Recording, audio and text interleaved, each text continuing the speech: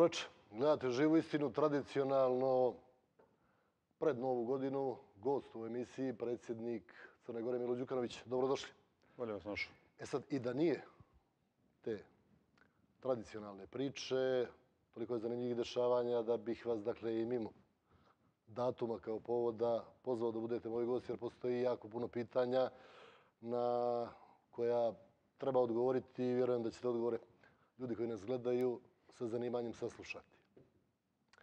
Dva u ovom trenutku najaktuelnija, set izbornih zakona, na kome već godinu i kusur radi Skupštinski odbor za sveobuhvatnu izmjenu izbornog zakonodavstva, ili već kako se zove, i zakon o slobodi vjeroispovijesti, očekivano ili neočekivano tek posljednjih nekoliko dana, postali su paket aranžman.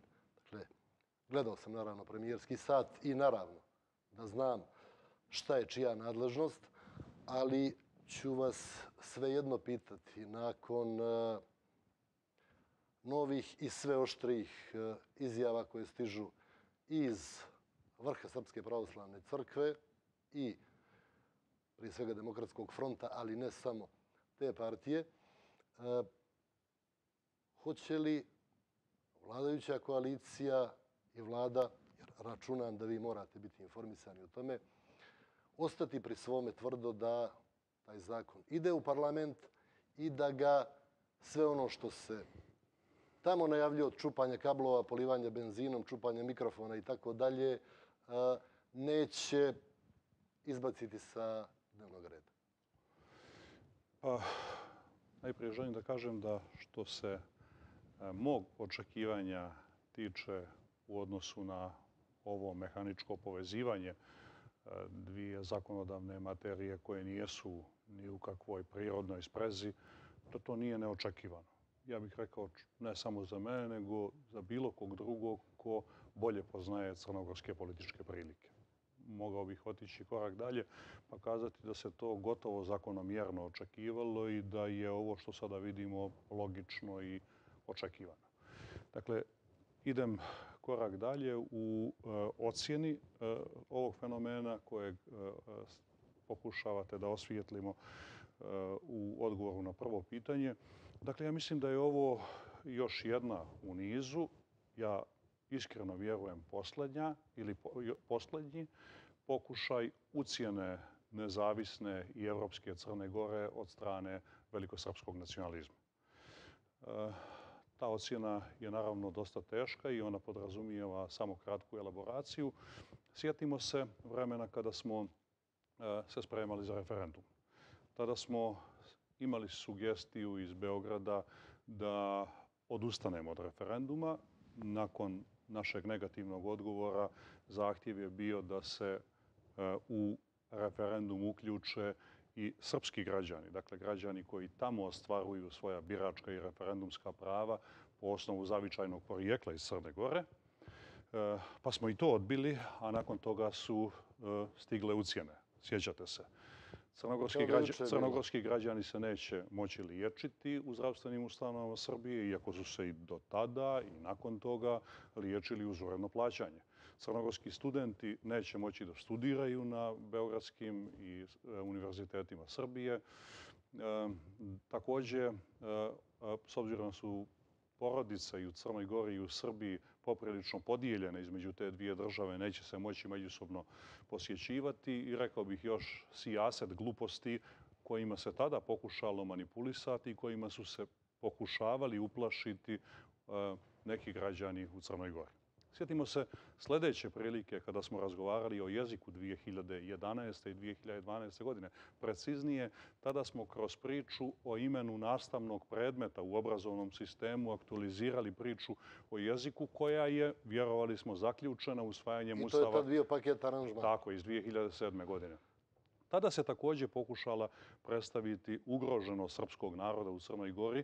Ja sam to tada u parlamentu kvalifikovao da lideri prosrpskih političkih partija u Crnoj Gori svaku, kad god gube neku monopolsku poziciju, to pokušavaju predstaviti kao ugrožavanje svojih nacionalnih prava. Podsjetit ću vas, i tada je bio pokušaj ucijene.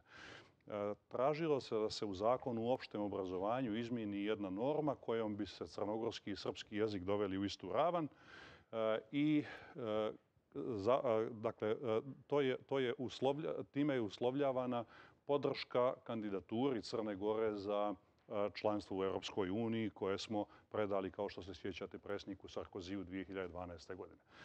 I ja bih rekao nakon toga koga danas još iznenađuje ovo, da se opet pokušava, e, da kažem, e, evropski put Crne Gore usloviti, usloviti Eh, opet nekim ustupkom koji bi značio, kada bi ga neko neodgovoran prihvatio, značio bi zapravo odustajanje od eh, nezavisnosti, suverenosti i evropskog puta države Crne Gore. Sada se, dakle, pokušava zaprijetiti Crnoj Gori da će iduće godine imati neke izbore u kojima opozicija neće učestvovati, kako u pripremi zakonodavstva, tako i u samom izbornom procesu, te da će se na taj način ugroziti legitimitet izbornih rezultata i dovesti u pitanje demokratski rejting Crne Gore na evropskoj eh, demokratskoj sceni.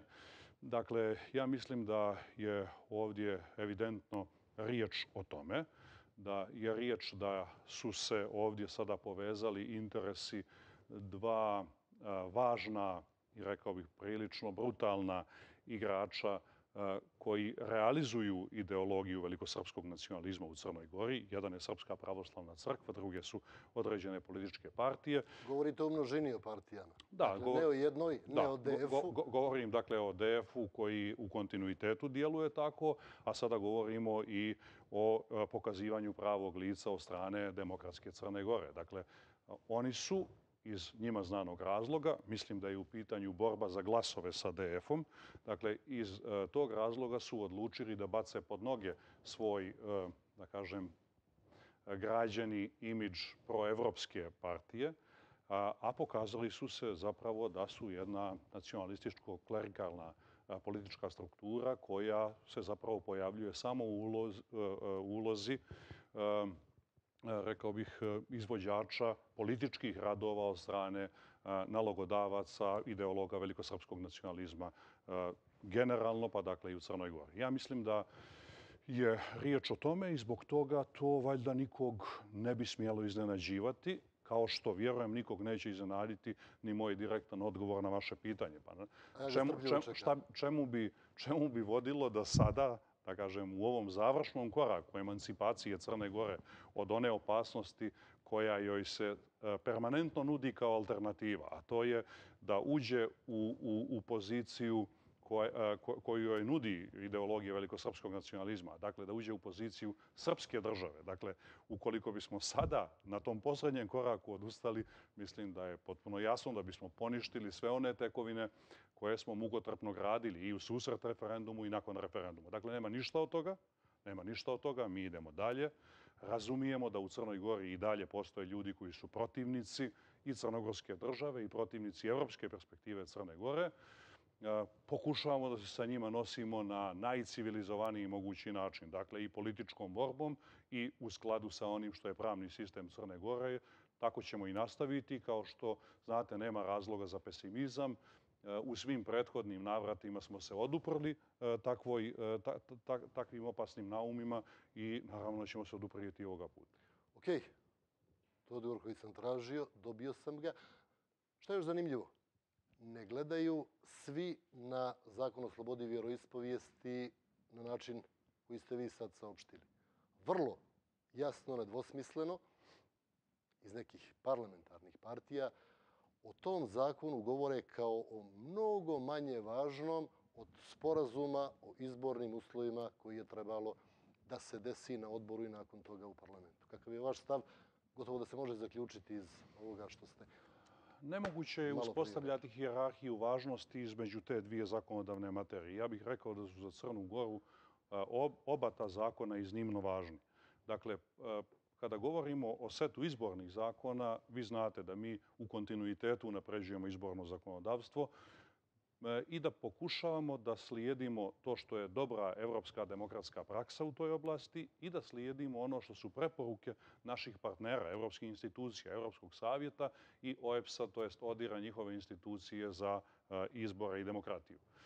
U svim dosadašnjim e, iskustvima, dakle organizacije izbora u Crnoj Gori, uvijek smo od strane tih institucija imali ocjenu da su izbori odrazili slobodnu volju građana Crne Gore, ali kao i u svim drugim državama, uvijek postoji preporuke kako doraditi izborno zakonodavstvo. Da, ali ja vas upravo izvinjam se. Ne pitam da poredimo stvari da Crna Gora nema izborni zakon, pa da se onda ne može ići na izbore, nego govorim upravo o toj 21. ili 22. preporuke i moram iskreno da vam kažem, ne razumijem da je svešću te 21. ili 22. preporuke na otprilike isti nivo.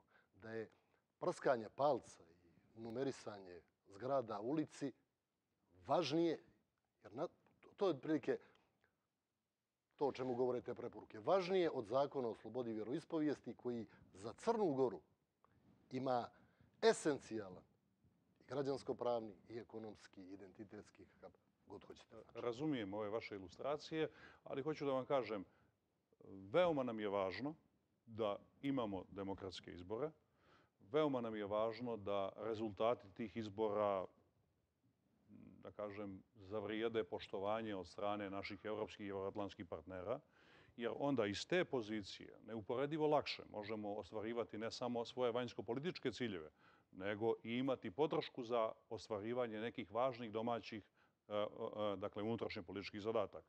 Jedan od najvažnijih zadataka je upravo ovaj na kojem, na kojem vi insistirate. Dakle, ja mislim da je jako važno nastaviti sa jednom e, veoma sistematičnom politikom unapređenja svijesti o vlastitom identitetu. Ne samo zbog, da kažem, onih palijativnih potreba kako ih mi vidimo, zbog regiona u kojem živimo i vjekovnih pretenzija jednih prema drugima, a posebno rekao bih prema Crnoj Gori, e, nego, date, ako idemo putem udruživanja u jedinstvenu Evropu, dakle, I tamo će također biti vrlo važno imati svijest o identitetu, pažljivo ga čuvati i afirmisati i to je, rekao bi, kapitalno važno za male države i za malobrojne narode. Dakle, razumijem i dijelim vašu uh, ocjenu važnosti, e, da kažem, nastavka e, tog posla, ali sam želio samo da ukažem na to da su oba posla jako važna, da jedan drugog nipošto ne isključuju, kao što vidite, tako se i ponašamo kao vladajuća koalicija. Nisu bili pakete do prije 15 pa dana. Smatramo potpuno neprirodnim i zloupotrijebljenim, dakle, u, funkciju, u funkciji ucijene e, nezavisne i evropske države Crne Gore. Nećemo naravno prihvatiti ucijenu, nastavit ćemo aktivno da radimo na oba kolosijeka i da doprinosimo dobru i napredku Crne Gore. Govorimo o tome, e, premijer Marković je u ponedjeljak, čini mi se, u Tivtu nagovijestio da je bilo i nekih inostranih adresa, pretpostavljam ambasadori koji su sad u Crnoj Gori, koji su opet, ako sam ja dobro razumio i pročitao to između redova, pa možda bili na fonu te ocjene da je dogovor o tim dodatnim momentima u setu izbornih zakona važniji od zakona o slobodi vjeroispovijesti, ajmo reći, u ovom trenutku. Je li to zaista tako bilo ili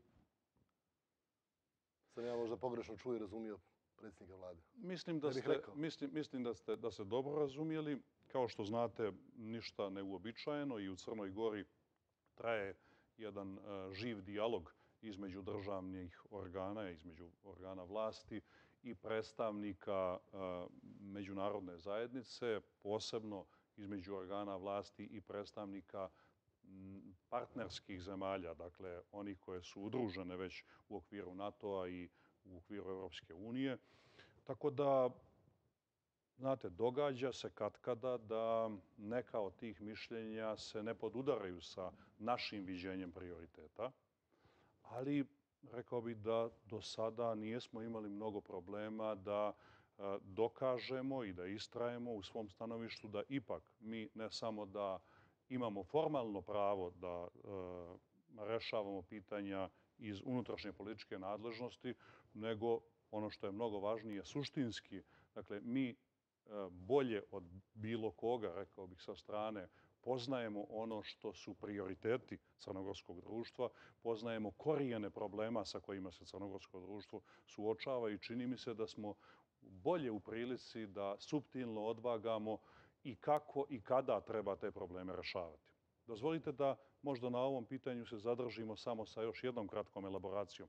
Otkud, otkud da kažem, to nerazumijevanje? Imate vrlo jaku propagandu sa druge strane. Kao što se svi zajedno sjećamo. E, jedan, e, rekao bih, element te neistinite propagande je da je vlada Crne Gore iznenada iz politikanskih razloga pred novu godinu lansirala predlog zakona i proslijedila ga parlamentu maltene sa ciljem da dovede u pitanje usvajanje izbornog zakonodavstva, iako je naravno stvar potpuno smiješna, jer niko nije tako zainteresovan za usvajanje izbornog zakonodavstva kao vladajuća koalicija. E, kao što znate, ništa od toga nije tačno. Na pripremi zakona se radi od e, e, 2014. Godine. Od 2017. godine smo opet u intenzivnoj komunikaciji sa međunarodnim partnerima, posebno sa Venecijanskom komisijom. Tokom 18. godine je vođena vrlo intenzivna javna rasprava u kojoj su učestvovali predstavnici vjerskih zajednica u Crnoj Gori. I ne samo to, nego poslednjih mjeseci je u nekoliko navrata od strane ovlašenih predstavnika vlade vođen intenzivan dijalog sa predstavnicima upravo, sa predstavnicima upravo ove Srpske pravoslavne crkve E, podrazumijevajući najveći stepene razumijevanja e, e, zakona s njihove strane. Dakle, šta je logičnije nego da zakon na kojem radite pet godina i o čemu je javnost uredno obavještavana u trenutku kada su se stekli svi uslovi, kada su se dobila relevantna mišljenja iz međunarodne zajednice i kada je sve što je moglo biti prihvaćeno, prihvaćeno i ugrađeno u predlog zakona, šta drugo možete očekivati da taj zakon bude proslijeđen parlamentu? Inače, s crnogorske strane, još od početka jeseni, jako prisutna nervoza zašto taj zakon ne ide u parlament. Tako je. Slažem se, slažem se i oko ocijene te nervoze, ali e, kazao sam vam, definitivno e, osjetljiva je materija, podrazumijevamo dio njene osjetljivosti. Drugo, prvi put donosimo takav zakon. Vi se sjećate podatka da je još uvijek na pravnom, uh, u pravnom saobraćaju u Crnoj Gori zakon iz 1977. godine iz vremena komunističke Jugoslavije. Dakle, i danas je valjda logično da demokratska Crna Gora ima potrebu da donese zakon i da pravno uredi položaj vjerskih zajednica u njoj i odnos države i vjerskih zajednica i crkve. Tako da, rekao bih da, e, da apsolutno ne može stojati prigovor da se dogodilo nešto iznenada, tendencijozno i e, pretjerano ispolitizovano. Samim tim odgovorio sam i na drugu neistinu kako je to sve urađeno sa namjerom da se dezavuiše pozicija Srpske pravoslavne crkve i da se maltene izigra... Čitav drugi blok, samo da vam kažem, planirao sam da to... Završavam sada. I da se, da se to uradilo bez dovoljno komunikacije sa njima. I treće, treća, treća neistina je da se ovim zakonom pokušava oteti imovina Srpske pravoslavne crkve, što je, rekao bih, najbrutalnija laž To se ne može drugačije zvati nikakvim eufemizmom. Dakle, to je najbrutalnija laž. I, dakle, zbog e, e, pritiska takvih dezinformacija i takve e, propagande, dakle, imate i dio domaće, pa zašto ne onda i dio inostrane javnosti, koja je možda sklona da predlaže neke trule kompromise. Ovdje nema prostora za kompromis. Ovdje je urađeno sve veoma školski i ispoštovana procedura do kraja. Ovdje je e, u pitanju da li smo spremni na politički kompromis, da li smo spremni da odustajemo od onog što smo gradili prethodnih dvije, tri decenije. Dakle, pretpostavki za obnovu nezavisnosti, za suverenu Crnu Goru i što već baštinimo poslednjih 13,5 godina, da li smo spremni da odustanemo od evropskog puta razvoja Crne Gore u korist e, povratku, da kažem, onoj e, nacionalističkoj iluziji da Crna Gora treba da bude srpska država kojom će za Boga upravljati Srpska pravoslavna crkva jer je prema interpretaciji ideologa tog koncepta Srpska pravoslavna crkva stvorila crnogorsku državu. Vi znate da ja od tih tema ne bježim naprotiv. Uvijek se rado dohvatim. Ali sad do kraja ovog bloka samo da završim ovu priču o izbornom zakonodavstvu, odnosno o trenutku u kojem se trenutno povodom te priče, a onda čitav drugi blok na ovu temu. Šta je odgovor ili šta će biti?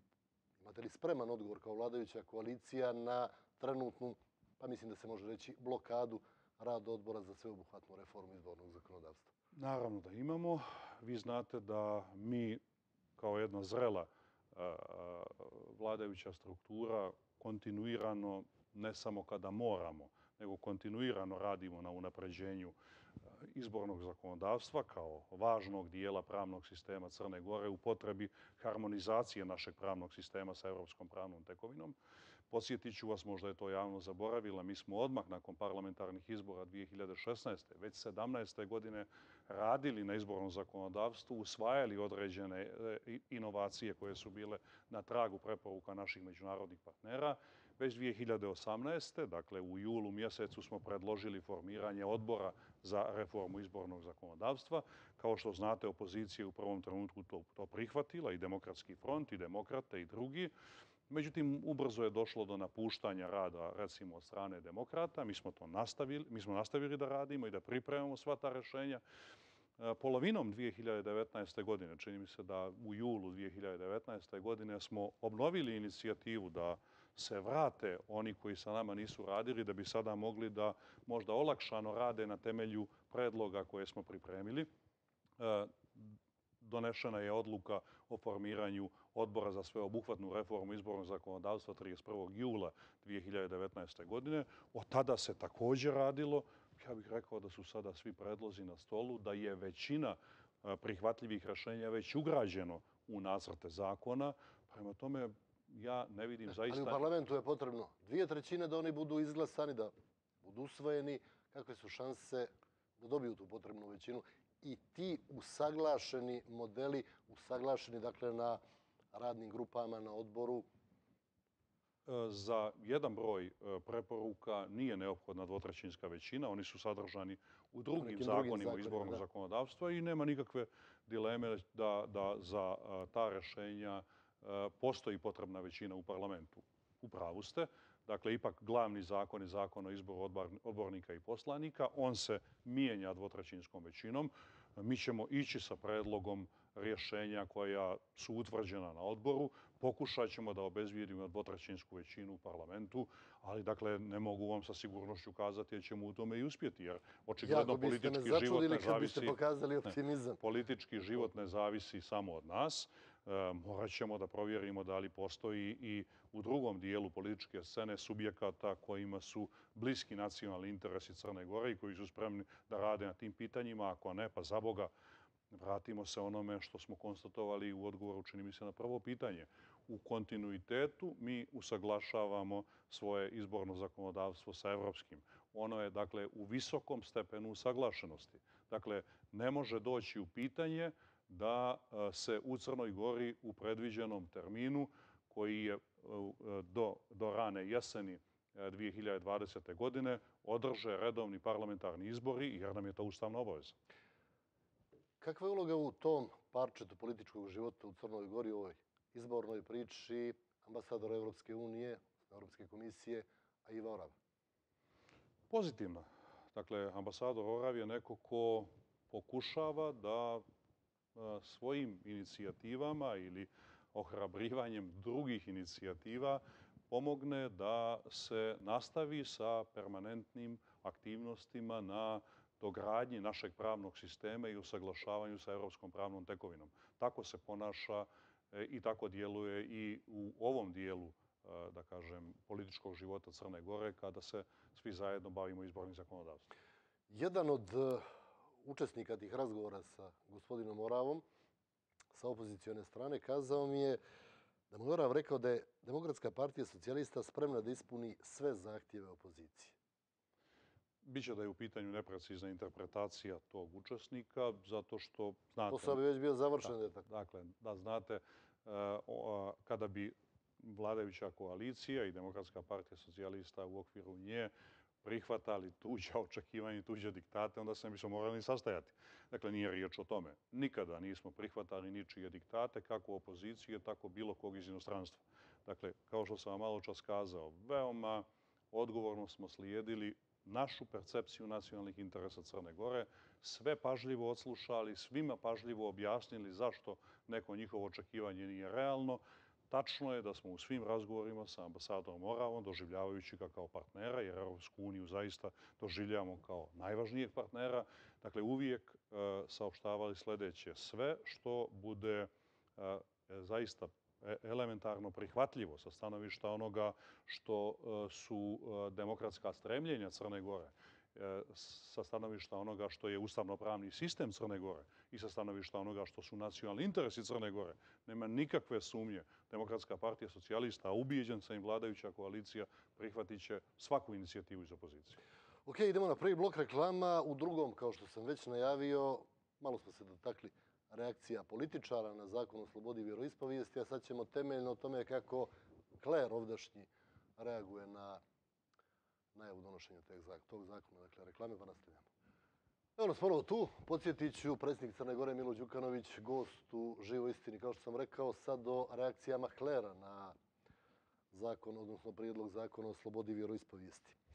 E, u Nikšiću je za sutra zakazan crkveno-narodni zbor opet citiram, povodom vladinog anticrkvenog prijedloga zakona o slobodi vjeroispovijesti. Oba citata su sa pozivnice za taj skup koju mnogi građani Crne Gore nalaze zakačenu u okvir vrata ili već gdje. Bih ni kraće rečenice, ni veće potrebe za analizom jer se radi o ozbiljnim stvarima. Iako ste dotakli prije, Čini mi se da ipak ima još potrebe da se osvrnete na ovo anticrkveni iz pozivnice. Hajdemo, Kapitalno je Hajdemo najprije oko ovog crkveno-narodnog, pa ćemo doći do, do anticrkvenog. To je sljedeće. Dakle, ja, Nisam ja, džabe naglasio. E, ja zaista mislim da, da, da je u pitanju politizacija uh, onog što bi, morao, što bi moralo biti, ne bih rekao dominantna, nego apsolutna preokupacija crkve u svakom demokratskom društvu. I kao što vidite, tu sada više i nema kamuflaže pored crkvenih velikodostojnika. Na taj skup pozivaju i politički lideri koji ne skrivaju da prethodno idu u neke centre u regionu, pretpostavljam na konsultacije oko e, svog djelovanja e, na tom, kako kažu, predbožićnom saboru. To je, e, to je prvo. Drugo, dakle, žao mi je da, da, da, da se to događa. Žao mi je istinski zato što ja veoma poštujem poziciju crkve i veoma poštujem uh, ono što u, u, u, intimi svakog čovjeka znači zadovoljavanje nekih njegovih vjerskih prava i sloboda. Tako da uh, bi za sve nas, a posebno za svakog vjerujućeg čovjeka, bilo veoma važno kada bi crkva obavljala svoju misiju, kada se ne bi bavila politikom i kada bi e, pomagala zaista ljudima u onoj, njihovoj, u onoj njenoj osnovnoj namjeni, a to je da na neki način olakšava ljudskim dušama, da pomaže, da liječi, a ne da se, kako se to dominantno iz naše domaće prakse pokazuje, e, bavi manipulacijom ljudima u cilju ostvarivanja nekih svakako ne vjerskih, nego dominantno političkih interesa. I drugo, kada govorimo o tom navodno anticrkvenom karakteru zakona, dakle, da bi neki e, akt ili bilo kakvo ponašanje mogli e, tako kvalifikovati, morate čuti argument. Ja ne znam da li ste vi čuli neki argument na tu temu. Ja nijesam. Znam također... To sam objašnjenja. Ne znam da li su argumenti otimanje imovine crkve, uništavanje cijelog jednog raciona, makar onog njegovog vjerujućeg dijela i tako dalje, tako dalje. Ja vjerujem da ćemo kroz razgovor doći do, do imovinskog pitanja. Nemojte sumnjati uopšte. Ali želim da vam kažem da bismo mogli jedan, jedan zakon kvalifikovati da je anticrkveni, on bi morao biti u skladu sa crkvenim pravom i on bi morao biti, eh, da bi morao biti u sukobu sa crkvenim pravom i sa nekom crkvenom tradicijom. Dakle, kada pogledate crkveno pravo, vidjet ćete ne samo u našem okruženju i ne samo iz crnogorskog istorijskog iskustva, nego, rekao bih, generalno, posebno u pravoslavnim zemljama, je vrlo rasprostranjena tradicija da je imovina pravoslavnih crkava državna. Dakle, ovo nije u neskladu Ovo nije u neskladu sa onim što je crkveno pravo. Kada govorimo o crkvenoj tradiciji, dozvolite također da se podsjetimo od 1485. godine od ustanovljenja Mitropolijske katedre na Cetinju i izgradnje e, Cetinskog manastira, pa preko, e, pa preko saborne saborne skupštine na Cetinju 1868. godine. Tako je. Pa preko opšteg imovinskog zakonika Valtazara Bogišića 1888. godine. Pa preko ustava e, pravoslavnih konzistorije iz 1904. godine. Pa preko ustava Knjaževine Crne Gore iz 1905. godine. Dakle, nema nigdje dileme. Dakle, imovina kojom se Crnogorska pravoslavna crkva služila do 1918. E, koja je, da kažem, dominantan predlog bavljenja zakona o slobodi vjeroispovijesti je državna. A nakon toga, dakle, pod nekim čudnim okolnostima, ona više nije državna. I zbog toga se, naravno, rekao bih i crnogorsko društvo i, i, i šire od toga ima pravo na odgovor pod kakvim se to okolnostima dogodilo. Eto, zbog toga želim da ukažem da apsolutno ne može stojati ocjena da je riječ o anticrkvenom zakonu. Ovo je zakon koji e, pretenduje da, rekao bih, nekoliko važnih pitanja riješi u Crnoj Gori. Dakle, on prije svega, kao što smo kazali, pokušava da definiše položaj vjerskih zajednica, i to ne jedne, nego svih, i odnos države i vjerskih zajednica. Pod dva, on, rekao bih, operacionalizuje ideju slobode vjeroispovijesti kao principa koji je u Ustavu zapisan, ali koji do sada, zahvaljujući starom zakonu, nije bio u dovoljnoj mjeri razrađen. Pod tri, to je zakon koji, rekao bih, snažno promoviše ideju vladavine prava, jer upravo pokušava da uđe u trag kako je došlo do e, tako, po našem viđenju, e, neosnovanog i nepravnog prisvajanja tuđe imovine. Dakle, ovdje je jedan ogroman dio, jedno ogromno društveno bogatstvo i državno bogatstvo prenešeno po našem viđenju nepravno i nezakonito na nekog drugog vlasnika, ali je svakako predviđena veoma jasna Eh, demokratska procedura, procedura primjerena svim demokratskim društvima da se opet ne voljom države sada eh, eh, da kažem, vraća natrag ta imovina, nego da se i kroz zakon o upravnom postupku i subsidijarno kroz zakon o imovinskom postupku dođe do nedvosmislenih saznanja dakle, čija je to zapravo imovina. Dakle, ja ovdje hoću da kažem da nema zaista ni govora o tome da je riječ o nekom anticrkvenom zakonu. Ovdje je riječ o pokušaju jedne grube manipulacije kojom se želi e, držati u, u, u pokornosti, da kažem to neko e, e, vjerno, vjerno stado koj, kojim se želi politički manipulisati u ovom slučaju protiv nekih najvažnijih tekovina savremenog crnogorskog društva i protiv nezavisne države Crne Gore same. E sad, u dva, tri kraka može ide nastavak razgovora. A, ipak je najvažniji čini mi se sljedeći. Dakle, sve te stvari koje ste pomenuli, u posljednje vrijeme objavljene su i građani Crne Gore imaju da ih imaju gdje da ih pročitaju. Na nekoliko mjesta, ali dakle onaj koga to interesuje može da naće. Međutim, da li vi planirate da na tu nevjerovatnu kampanju manipulacija država odgovori sistemski. Ono što su nesporne istorijske činjenice zasnovane na prvorazrednim istorijskim dokumentima. Uđu u učbenike da bar smanjite prostor za manipulaciju i da onda makar u nekoj dodatno, onako, ajde, bliskoj budućnosti se ova pitanja ako ne riješe, ono drže pod kontrolom. Jer kako sad stvari stoje, džaba svi argumenti, fabrika laži radi u tri smjene, pretvara ljude u gomilu koja slijedi, to postoji kao objektivan problem. Mogu se složiti sa vama, ali vjerujem da nema nikakvog mjesta pesimizmu i nervozi. E, sjetit ćete se da prije 20 godina nijesmo imali u saznanju, kažem, mnoge od istina koje sada imamo. Sjetit ćete se pošto smo bliski generacijski, da nijesmo imali priliku da ni u jednom učbeniku tokom našeg obrazovanja pročitamo mnoge istine koje su se umeđu vremenu objelodanile. Apsolutno. I postale sada već sastavni dio, ja bih rekao, ne samo učbenika na čemu s pravom insistirate, nego rekao bih postale u, u najvećoj mjeri opšte dobro e, u crnogorskoj javnosti sa izuzetkom, da kažem, jednog dijela te javnosti koji se ni do danas, a plašim se ni još zadugo, neće e, dati, dozvati argumentima i istorijskim faktima koji su neupitni. Mi smo, rekao bih, vrlo po meni taktički, da ne bude pretencijozno, mudro upravljali procesom u cilini.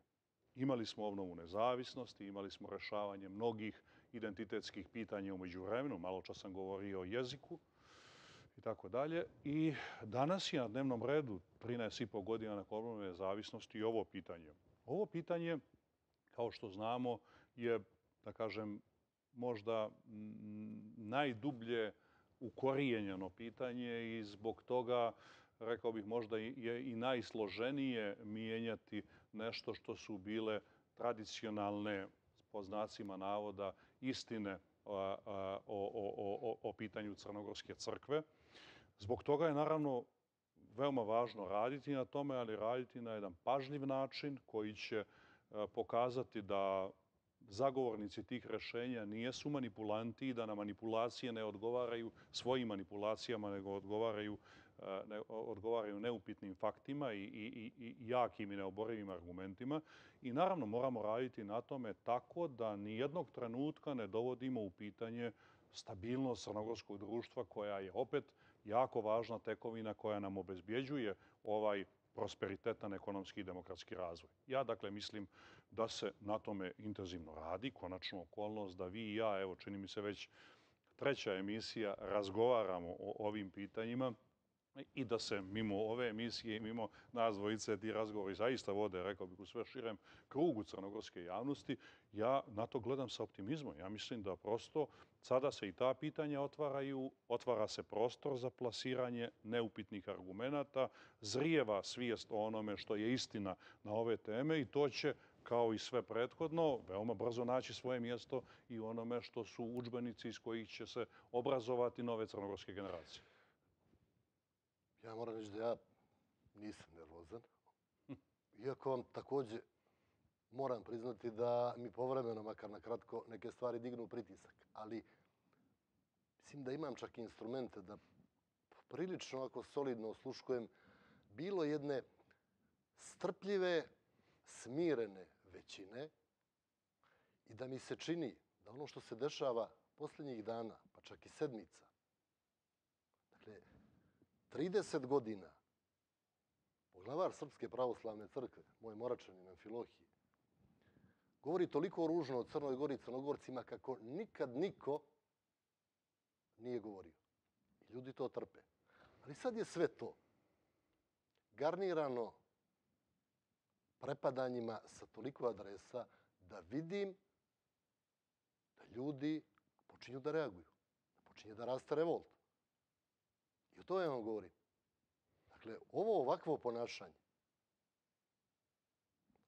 ovaj krešendo pljuvanja po Crnoj Gori i Crnogorcima, izrugivanje, nijedan okupator nije rekao za Crnogorce to što je mitropolita Filohije Radović u ovih 30 godina izgovorio za Crnogorce. Ja se bojim da i drugoj strani toga preko glave. I da oni očekuju jasnu reakciju države, trpjeli su limenku na Rumi toliko godina, baptisteriji ili krstionicu toliko mjeseci, sve manastire i crkve crnogorske da se pretvaraju u nešto što one nijesu bile izvorno. Sve to, ne samo mijenjanje njihovog identiteta, nego ruganje, psovanje, vrijeđanje na najbrutalniji način. I sad je sve to bilo malo, sad od još jednom neko prepadanje. Može više? Um. Razumijem vaš revolt i razumijem revolt tog dijela crnogorske javnosti o kojem govorite, ali i dalje nepokolebljivo vjerujem da, na, da ne treba uh, voditi politiku na bazi revolta, nego treba koliko god je moguće koristiti tu superiornu poziciju koju smo izgradili tokom prethodnog perioda i koja nam je pomogla da ostvarimo ove krupne tekovine. Jer da smo odgovarali u revoltu, vjerujem da bismo se do sada mnogo puta potukli, umjesto što smo uradili neke korisne stvari, između ostalog obnovili državu i postavili je veoma stabilno na put usvajanja europskog sistema vrijednosti. Dakle, e, znate, govorimo, i odlično sam i razumijemo, govorimo o tome da imamo jedno potpuno neprimjereno uplitanje Srpske pravoslavne crkve u politički život u Crnoj Gori. Dakle, to e, jeste e, kršenje i određenih svjetovnih zakona, ali je to veoma brutalno. Sad se vraćamo na ovo da je to crkveno-narodni sabor, dakle potpuno otvoreno preuzimanje ali političkog liderstva. Ali hoću da vam kažem da pored te dimenzije, koja nema nikakve sumnje, dakle, treba malo to ovaj, sve stranije osvijetliti. Dakle, crkva, da kažem, svom sveštenstvu strogo zabranjuje bavljenje javnim djelatnostima, dakle, i političkim djelatnostima, takozvanim apostolskim kanonima. Dakle, ovo što radi i mitropolit i drugi e, čelnici eparhija Srpske pravoslavne crkve na prostoru Crne Gore, pa i patrijarh Srpske pravoslavne crkve sam, dakle, je ne samo u sukobu sa svjetovnim zakonima Crne Gore, to je u sukobu sa crkvenim zakonima, sa crkvenim pravilima. Dakle, ovdje je riječ o, zaista o, jednom, o jednoj potpunoj pogubljenosti e, jedne vjerske institucije koja očigledno biva suočena sa e, konačnim krahom e, i konačnom iluzijom svoje ambicije da u duhu neistine koju plasiraju, kako su oni stvorili Crnu Goru, oni sada upravljaju Crnom Gorom. Čak da kažem i da, i da je tačno, a ne može biti tačno. Ne može biti tačno, znamo i kada je e, nastala prva, prva država na, na prostoru današnje Crne Gore, a znamo da se nedavno slavilo 800 godina Srpske pravoslavne crkve, dakle riječ je makar o jedno, e, koliko je, makar o dva vijeka razlike ili nešto duže od toga, u korist Crnogorske države. Dakle, ali čak i da je to tačno, moramo potpuno jasno ljudima poručiti nijeste stvarali novu, obnovljenu, savremenu, nezavisnu i evropsku Crnu Goru. I ta Crna Gora vam se ne da da vi upravljate njome vašim dogmama.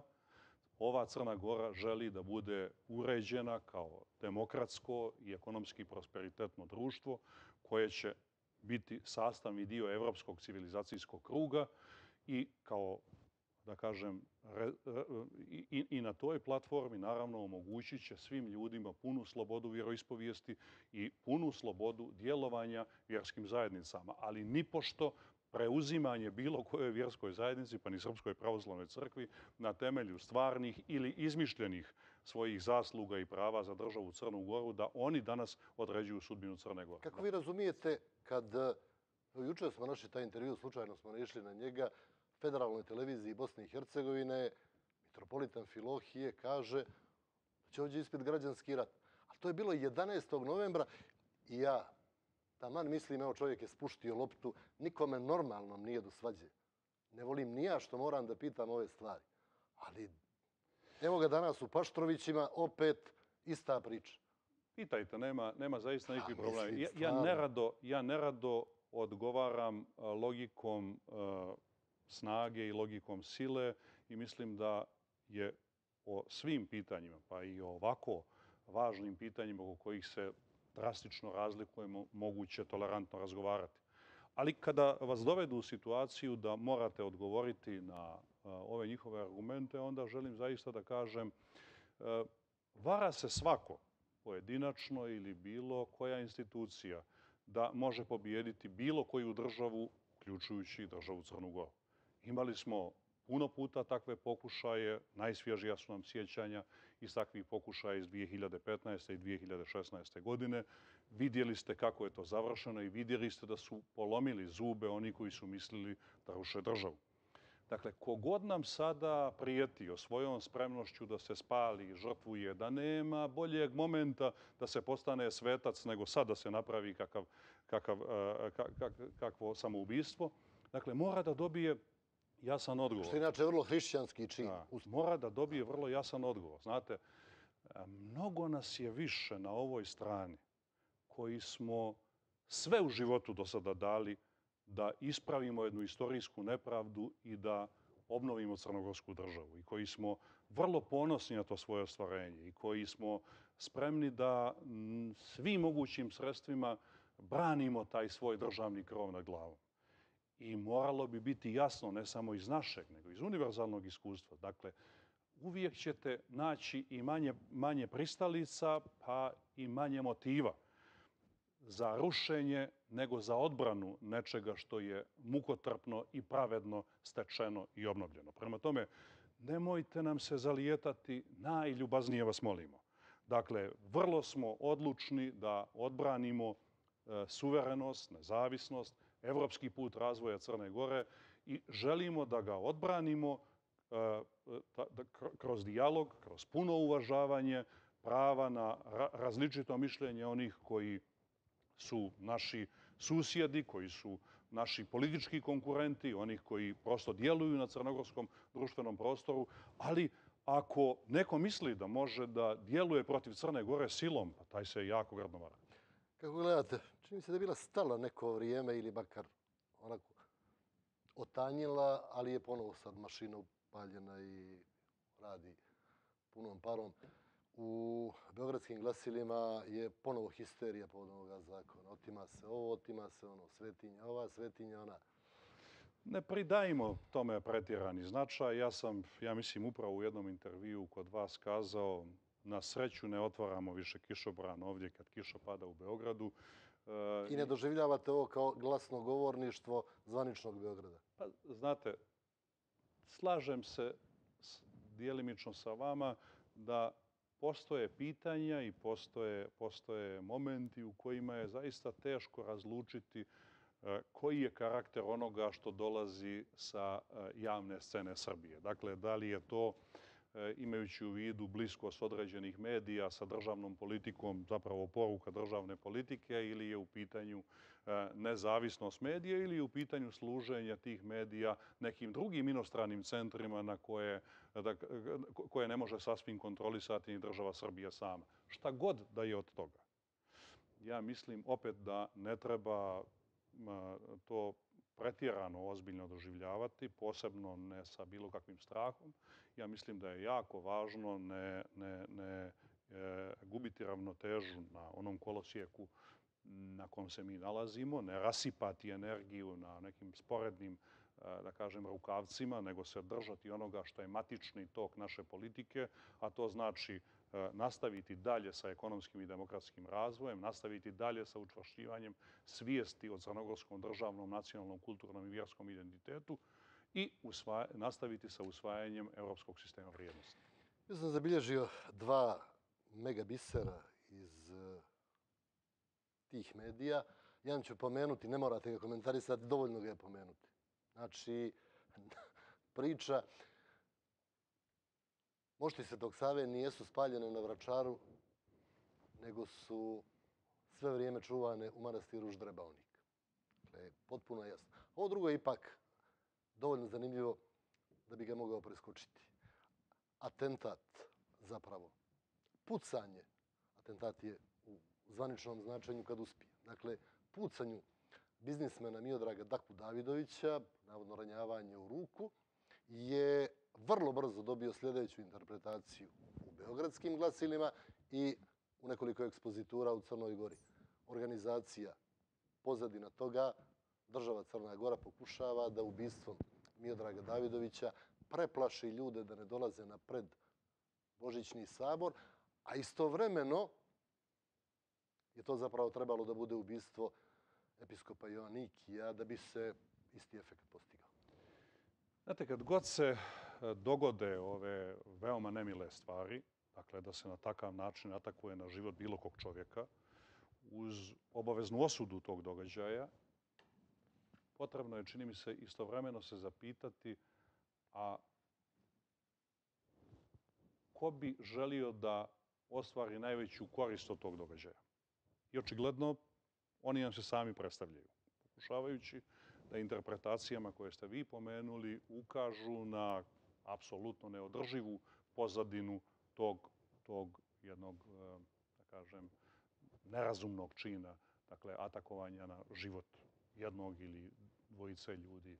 Tako dalje. Dakle, ja zaista ne mislim da, da, da, je to, da, da tu ima i zrnce istine u takvim interpretacijama, a vjerujem da kad se svi pomalo zapitamo na ovu temu koju sam sugerisao, ko bi želio ostvariti najvažnije e, e, interese iz tog događaja, a razumijeli smo iz ove interpretacije ko bi to mogao biti, onda vjerujem da to može biti korisno saznanje za neko ko se bavi istragom.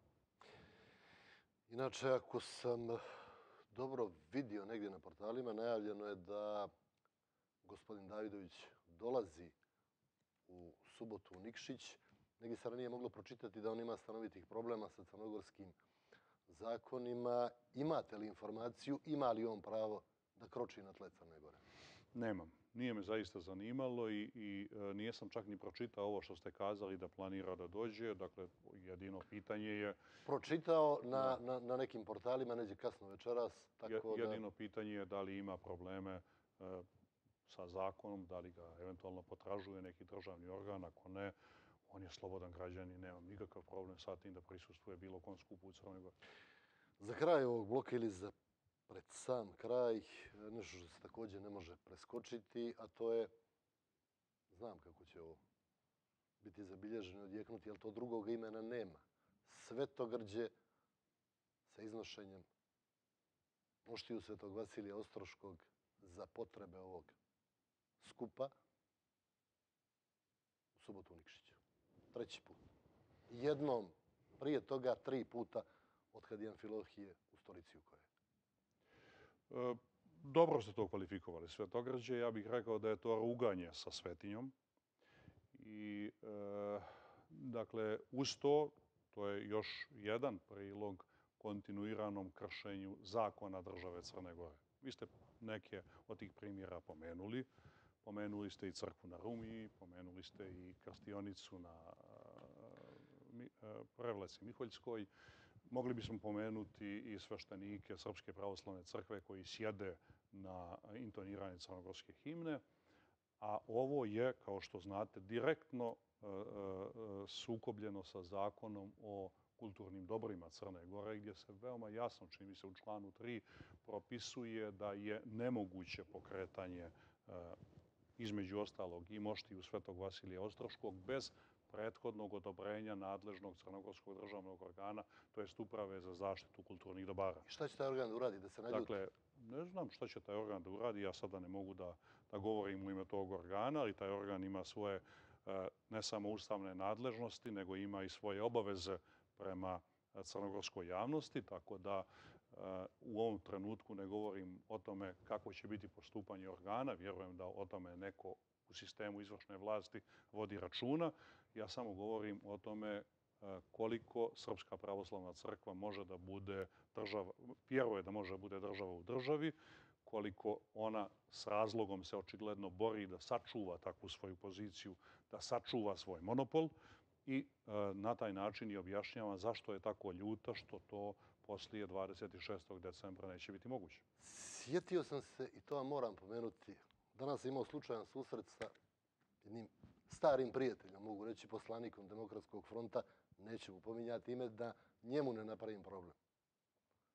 Pitao sam ga, vi ste, mi, vi ste me podsjetili sad na još jedan primjer te bahatosti. Dakle, na Primorju, još preciznije, opština Budva, imate crkvu U tu crkvu lokalni bahati pop ne dozvoljava da bude unesena zastava Crne Gore. Srpska može, Ruska može, vjerovatno koja god hoćete druga, ili ne može, ali Crnogorska ne može. Bračni par želi crkveno vjenčanje, čovjek ne da da to uđe unutra. Ja ga pitam, je li moguće da ti to želiš? Da se za to zalažeš? Kaže, nije sam znao. Ne bi trebalo tako. Pa naravno da ne bi trebalo, ali tako jest. Dakle, zar i ovo sa moštima Svetog Vasilija, zar ovaj primjer, za svi ovi primjeri koje smo pomenuli, nijesu dokaz koliko je neophodan zakon o slobodi vjeroispovijesti? Jesu, naravno. Da crnogorci ne bi morali da rade stvari koje rade drugi. Da prijete, da izlaze na ulice, da se udružuju. Jesu, naravno. I e, imate pravo da, da e, pokažete revolt e, na, na više primjera na kojima država nije pokazala potrebnu efikasnost, ali samo hoću da, da opet djeluje malo optimističnije i da kažem, znate, prije ili kasnije sve to ipak bude postavljeno na svoje mjesto. Dakle, nedavno smo u parlamentu, učestvovao sam prilikom predlaganja kandidata za ombudsmana e, u raspravi gdje je jedan od poslanika potencirao pitanje odgovornosti katastra i zaposlenih u njemu, e, koji su dozvolili ili su saučestvovali u lažnom knjiženju E, imovinskih prava Srpske pravoslavne crkve na državnoj imovini. Pa zar neko zaista misli da se može pobjeći od te odgovornosti? Ta odgovornost će uslijediti. To će biti krivična odgovornost za sve one koji su u tome učestvovali. Kao što će biti krivična odgovornost, jer kao što znate, propisano je krivično dijelo za nezakonitu gradnju, neodobrenu gradnju. Kao će biti nesumnjivo krivično odgovoran i onaj ko je gradio krstionicu na Miholjskoj prevlasi i onaj ko protivno propisima države Crne Gore da kažem, se ovako ponaša u odnosu na državne simbole, kao što ste vi kazali i tako dalje. Tako da, e, ja samo mislim da, da, da mm, koliko god imali grča, nezadovoljstva i nestrpljenja, moramo primijetiti da se ta pitanja rješavaju, možda nešto sporije nego što bi svako od nas želio, da ponešto, poneki slučaj izmakne djelovanju državnih organa, ali to ne znači da je zaboravljen i da neće doći na dnevni red. Ok, evo, s moje strane malo optimizma u pitanju za kraj ovoga bloka. E, prošle subote na preskonferenciji Mitropolitan Filoh je inače na tom presu, i ja sam to sa zadovoljstvom zamijetio, bio mnogo mekši. Poziciju Jastreba je imao gospodin Joanniki. I da nije bilo Paštrovića danas, da kažemo emisiju snimamo zbog naših obaveza u petak i u subotu, e, ja bih vjerovatno ovako malo mekše postavio pitanje večeras. Međutim, prošle subote je kazao Crkva će sigurno učestvovati u dokazivanjima na sudu. Citat kako su ga prenijeli praktično svi mediji. Je to signal mirenja sa neumitnošću usvajanja zakona o slobodi vjeroispovijesti? Dakle, zaista se ne bavim apotekarskim e, mjerenjem koji je koliko agresivan iz redova Srpske pravoslavne crkve u Crnoj Gori. Ono što želim da poručim svima da e, e, moramo pažljivo vojiti računa i o tome šta pričamo i o tome šta radimo, makar na kojoj se funkciji državnoj ili crkvenoj nalazili. I o tome mora voditi računa i Joanikije i pored Joanikija. Eh, ali eh, drago mi je ovo što ste na kraju saopštili, dakle da mm, eh, postaje jasno svakom razumnom da kakav god bio lični stav prema jednom zakonskom projektu, će taj zakon biti usvojen. Postoji, postoji, čini mi se, svijest kod razumnih ljudi koji nijesu pristalice naše politike, da će taj zakon biti dio pravnog sistema Crne Gore.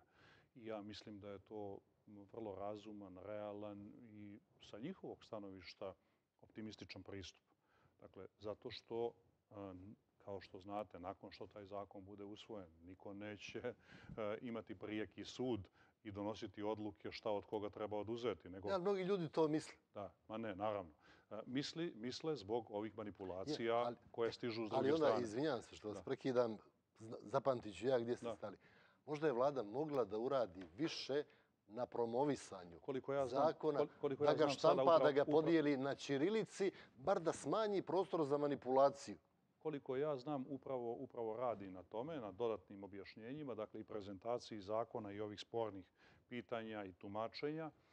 E, nastavljam, e, dakle, niko nakon usvajanja zakona neće oduzimati imovinu, dakle, kreće se u jedan postupak koji će biti upravni, pa sudski, pa sve do njegove pravosnažnosti, dok se ne sagledaju argumenti svih, dok se ne dođe do zaključka ko zaista e, ima validnu dokumentaciju koja dokazuje njegovo očekivanje da bude neupitni vlasnik, e, e, da kažem, te imovine pa tek onda nakon toga onaj državni organ kojem pripadne vlasničko pravo u odnosu na određeni objekat koji je do sada knjižen kao crkveni, onda on također stupa na scenu i ima pravo da donosi odluke koje se tiču dalje upotrebe tog objekta koji od tog trenutka, od trenutka pravosnažnosti sudske presude postaje državna imovina. Prema tome, nema zaista ni jednog razloga za, za, za nervozu sa bilo koje strane. S druge strane, zaista mislim da manipulacije nijesu dobrodošle jer računaju samo da eh, zloupotrebljavaju vjerska osjećanja ljudi eh, u ostvarivanju određenih političkih i nacionalističkih ciljeva i mislim da je jako dobro da se eh, negdje prepoznaje, kao što ste i sami kazali u vašem pitanju, da dio crkvene javnosti razumije da se treba pripremiti za realnost koja slijedi. Slijede reklame i onda nastavak intervjua. Evo nas ponovo tu podsjetit ću predsjednik Crne Gore Milo Đukanović, gost u predposljednjoj živoj istini u 2019. Da li će Demokratska partija socijalista, odnosno vladajuća koalicija, obnoviti poziv parlamentarnim strankama da uđu u vladu? Obnoviti, mislite, u odnosu na ona iz 2016. Pa bilo je poziva, čini mi se da je i premijer Marković više puta, onako čak ne mogu reći od šponde, je rekao izvolite, uđite da zajedno radimo i tako dalje. Bilo je toga. Nakon završenih izbora, da. U redu, tada je bilo, tada je bilo određenih poziva da, da se, da kažem, pravi neka ne tehnička, nego politički gledano šira koalicija. E, sada nije to realno. Sada to nije realno. Mi smo više puta objasnili zašto to nije realno. Ukazali smo da smo zaista 2016. godine imali jednu veoma specifičnu situaciju. Na kraju 2015. godine je raskinuto jedno tradicionalno političko partnerstvo između DPS-a i SDP-a. To je bilo praćeno optužbama o političkoj korupciji. Imali smo u vidu da u nasledđu imamo i taj tu prethodnu aferu snimak i smatrali smo da treba napraviti iskorak prema opoziciji, ponuditi mogućnost da uđu u vladu i da se iz vlade osvjedoče da zaista nema nikakvih e, kostura u armarima ministara u vladi, nego da se tamo radi jedan ozbiljan i odgovoran državni posao, a u nadi, pokazalo se u iluziji, da ćemo nakon toga imati više povjerenja u vjerodostojnost izbornih rezultata. A ono nikad više ne povjerenja. Pošto se ništa od toga nije dogodilo. Pokazuje se zapravo da nema nikakvog smisla ponavljati takvo iskustvo. Vidjeli ste eh, u šta je evoluirala eh, evoluirao taj ustupak DPS-a i vladajuće koalicije iz 16. godine.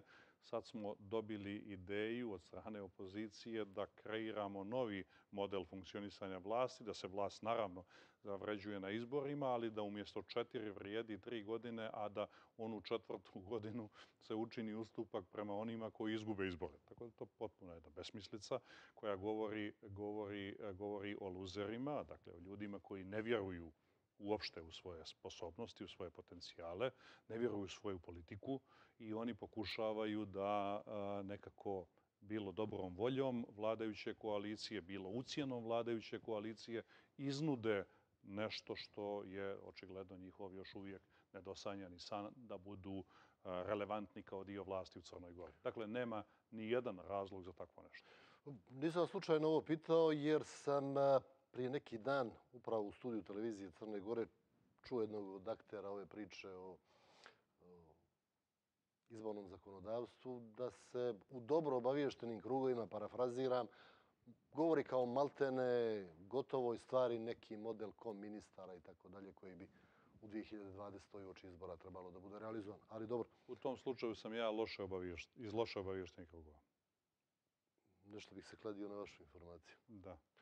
E, kakav je potencijal potencijalnog bojkota, da tako kažem? Koliko, ukoliko se zaista desi, a u ovom trenutku ako slušate, on izgleda kao potpuno izvjesna stvar, ako slušate lidere opozicijonih stranaka, koliko može da bude problem za Crnu Goru? Od euroatlantskih integracija do unutrašnje bezbjednosti.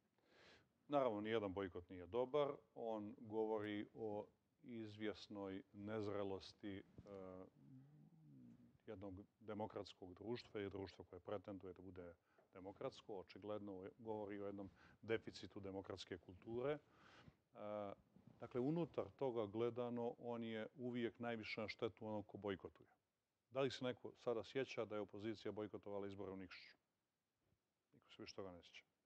Ne želim da, da e, uspostavljam paralelu između lokalnih i nacionalnih izbora. Ponavljam vam, vrlo smo zainteresovani da nema bojkota, zainteresovani smo da usaglasimo do najveće moguće mjere izborno zakonodavstvo, samo zato što e, superiorno vjerujemo u svoju političku nadmoć i vjerujemo da smo u stanju da pod najregularnijim uslovima i u punoj konkurenciji pobjeđujemo.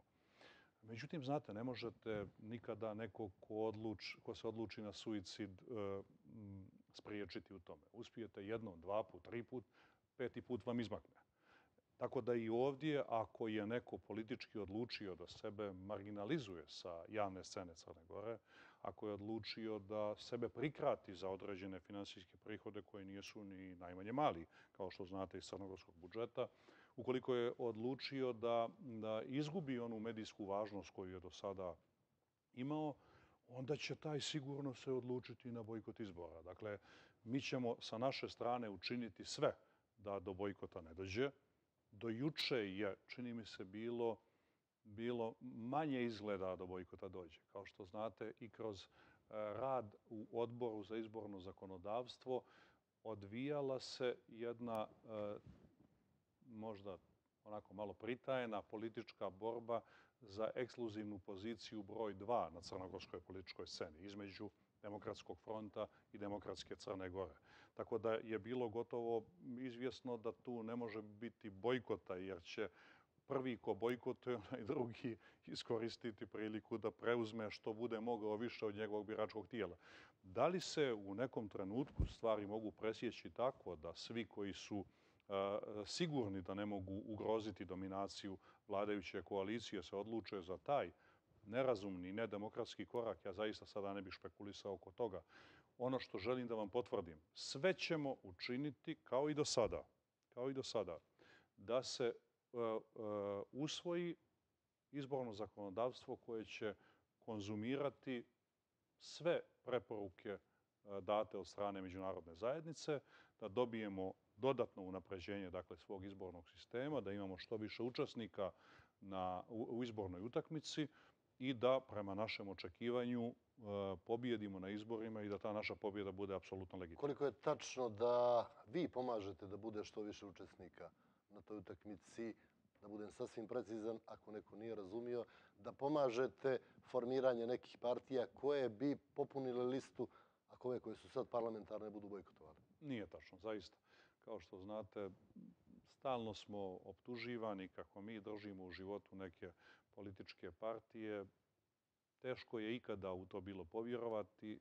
Nije bilo apsolutno moguće ništa od toga dokazati. E, ja, evo, kao neko ko vodi tu partiju, imam ozbiljan otpor prema tom političkom inženjeringu. Znate, koliko god e, bili blagonakloni, koliko god željeli nekome da pomognete prije ili kasnije u toj surovoj političkoj utakmici, to se opet izrodi u neki, neku naglašenu konfrontiranost i u neko političko i ukupno neprijateljstvo. Prema tome, umjesto da formiramo druge subjekte, bavimo se sobom i trudimo se da osvojimo što je moguće više glasu.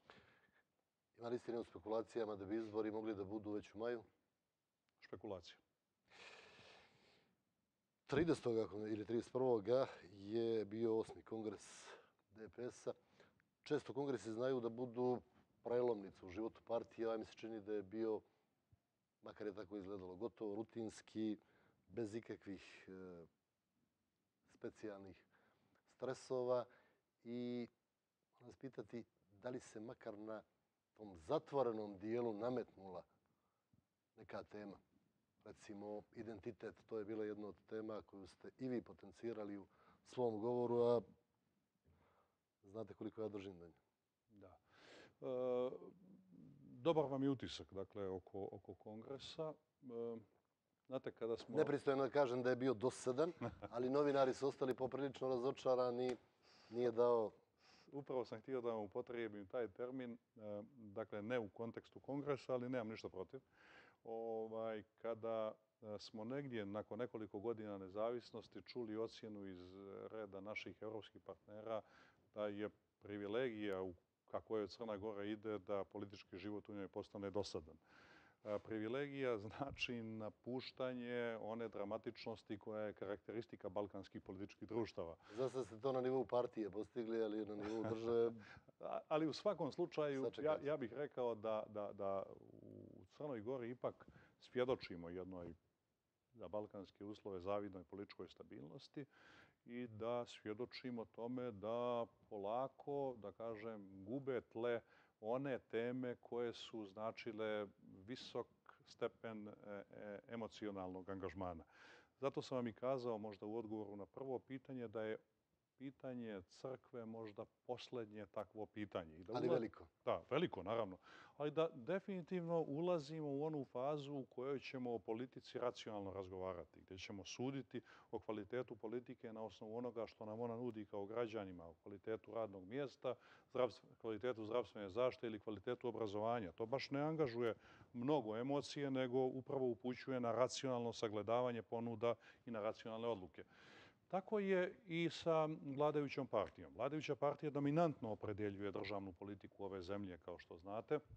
I tako je bilo i na ovom njenom kongresu. To je bio kongres kontinuiteta. Dakle, kontinuiteta u smislu e, e, pune posvećenosti DPS-a nacionalnim interesima Crne Gore. Ja sam više puta isticao da DPS nikad nije imao neku svoju agendu mimo onoga što je agenda nacionalne emancipacije Crne Gore. Tako da smo i sada u jednoj delikatnoj situaciji, ne toliko zbog nas, nego zbog jedne konfuzije koja postoji u našem političkom i društvenom okruženju, pokušavali da pronađemo odgovore kako nastaviti dalje jedan stabilan i dinamičan hod ka našem cilju.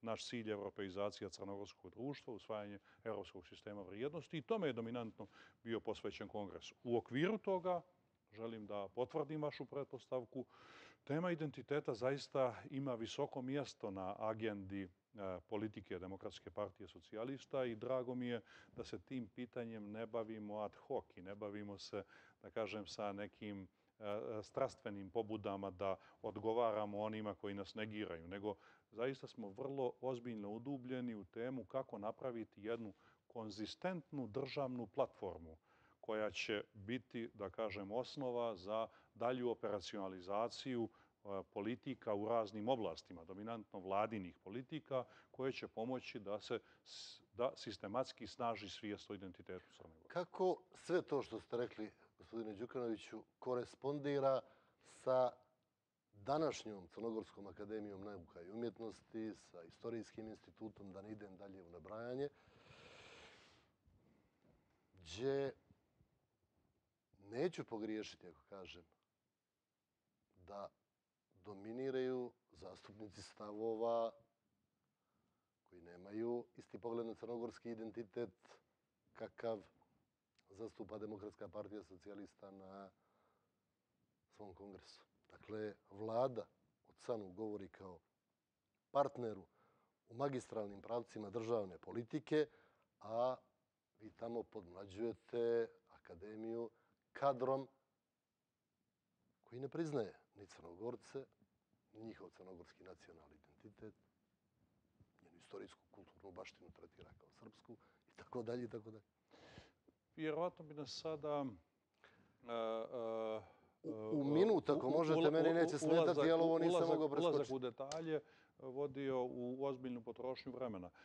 Odgovorit ću vam ovako. Dakle, ja mislim da se na, na, na temu identiteta stvari zaista mijenjaju u Crnoj Gori. I pokušao sam vam odgovorim u jednom od prethodnih odgovora. Dakle, nikada nije bilo ni toliko literature, pa ni toliko programa raznih državnih institucija koje su posvećene toj temi. Ja Saglasan, ali ove krovne, evo je, nemate da se oglasi, složit ću se sa vama, a ovdje vri sve. Složit ću se sa vama da je to uvijek nedovoljno, da je to uvijek nedovoljno. Složit ću sa vama da ima određenih iskakanja.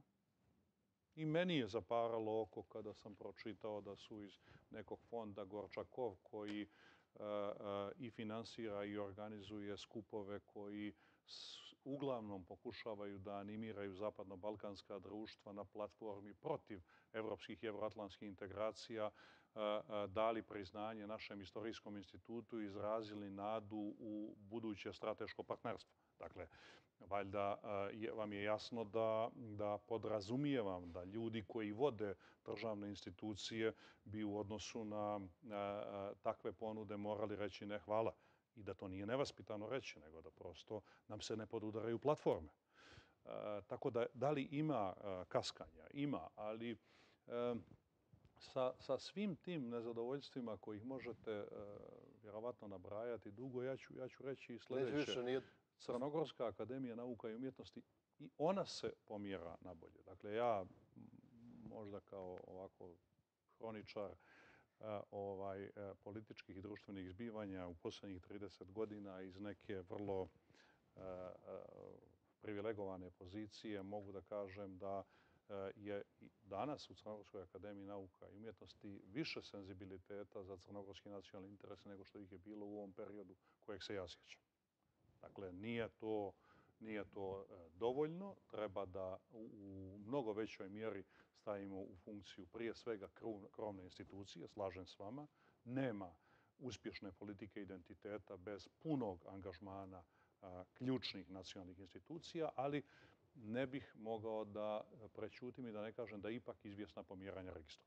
Mala digresija, daj Bože, mala digresija, e, Bar za mene je bilo prilično iznenađujuće da je a, prestalo da bude tema još mnogo prije kongresa i ni na samom kongresu, bar da sam ja vidio, nije aktualizovano to što ste vi ostali na čelu partije. A čim ste izabrani za predsjednika, to je mjesecima zaokupljalo pogotovo dio crnogorske javnosti.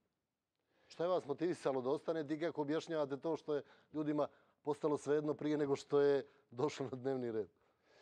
Pa, znate, bio sam zaista u dilemi oko, oko tog pitanja. Procjena u krugovima u kojima ja razgovaram je bila da to ne treba još uvijek napraviti. E, pravili smo zaista paralele i sa potezom kojeg je svoje vremeno povukao tadašnji potpredsjednik Demokratske partije socijalista, gospodin Vujanović. Visoko, dakle, cijeneći i taj potez i visoko cijeneći neku demokratsku praksu da bi dobro bilo da predsjednik države obavlja taj posao i da obavljanjem nekih drugih poslova ne ostavi nikod koga sumnju da li će biti predsjednik svih građana. Očigledno, na drugoj strani imamo suočavanje Crne Gore sa brojnim izazovima kojima je bila posvećena i ova vaša emisija.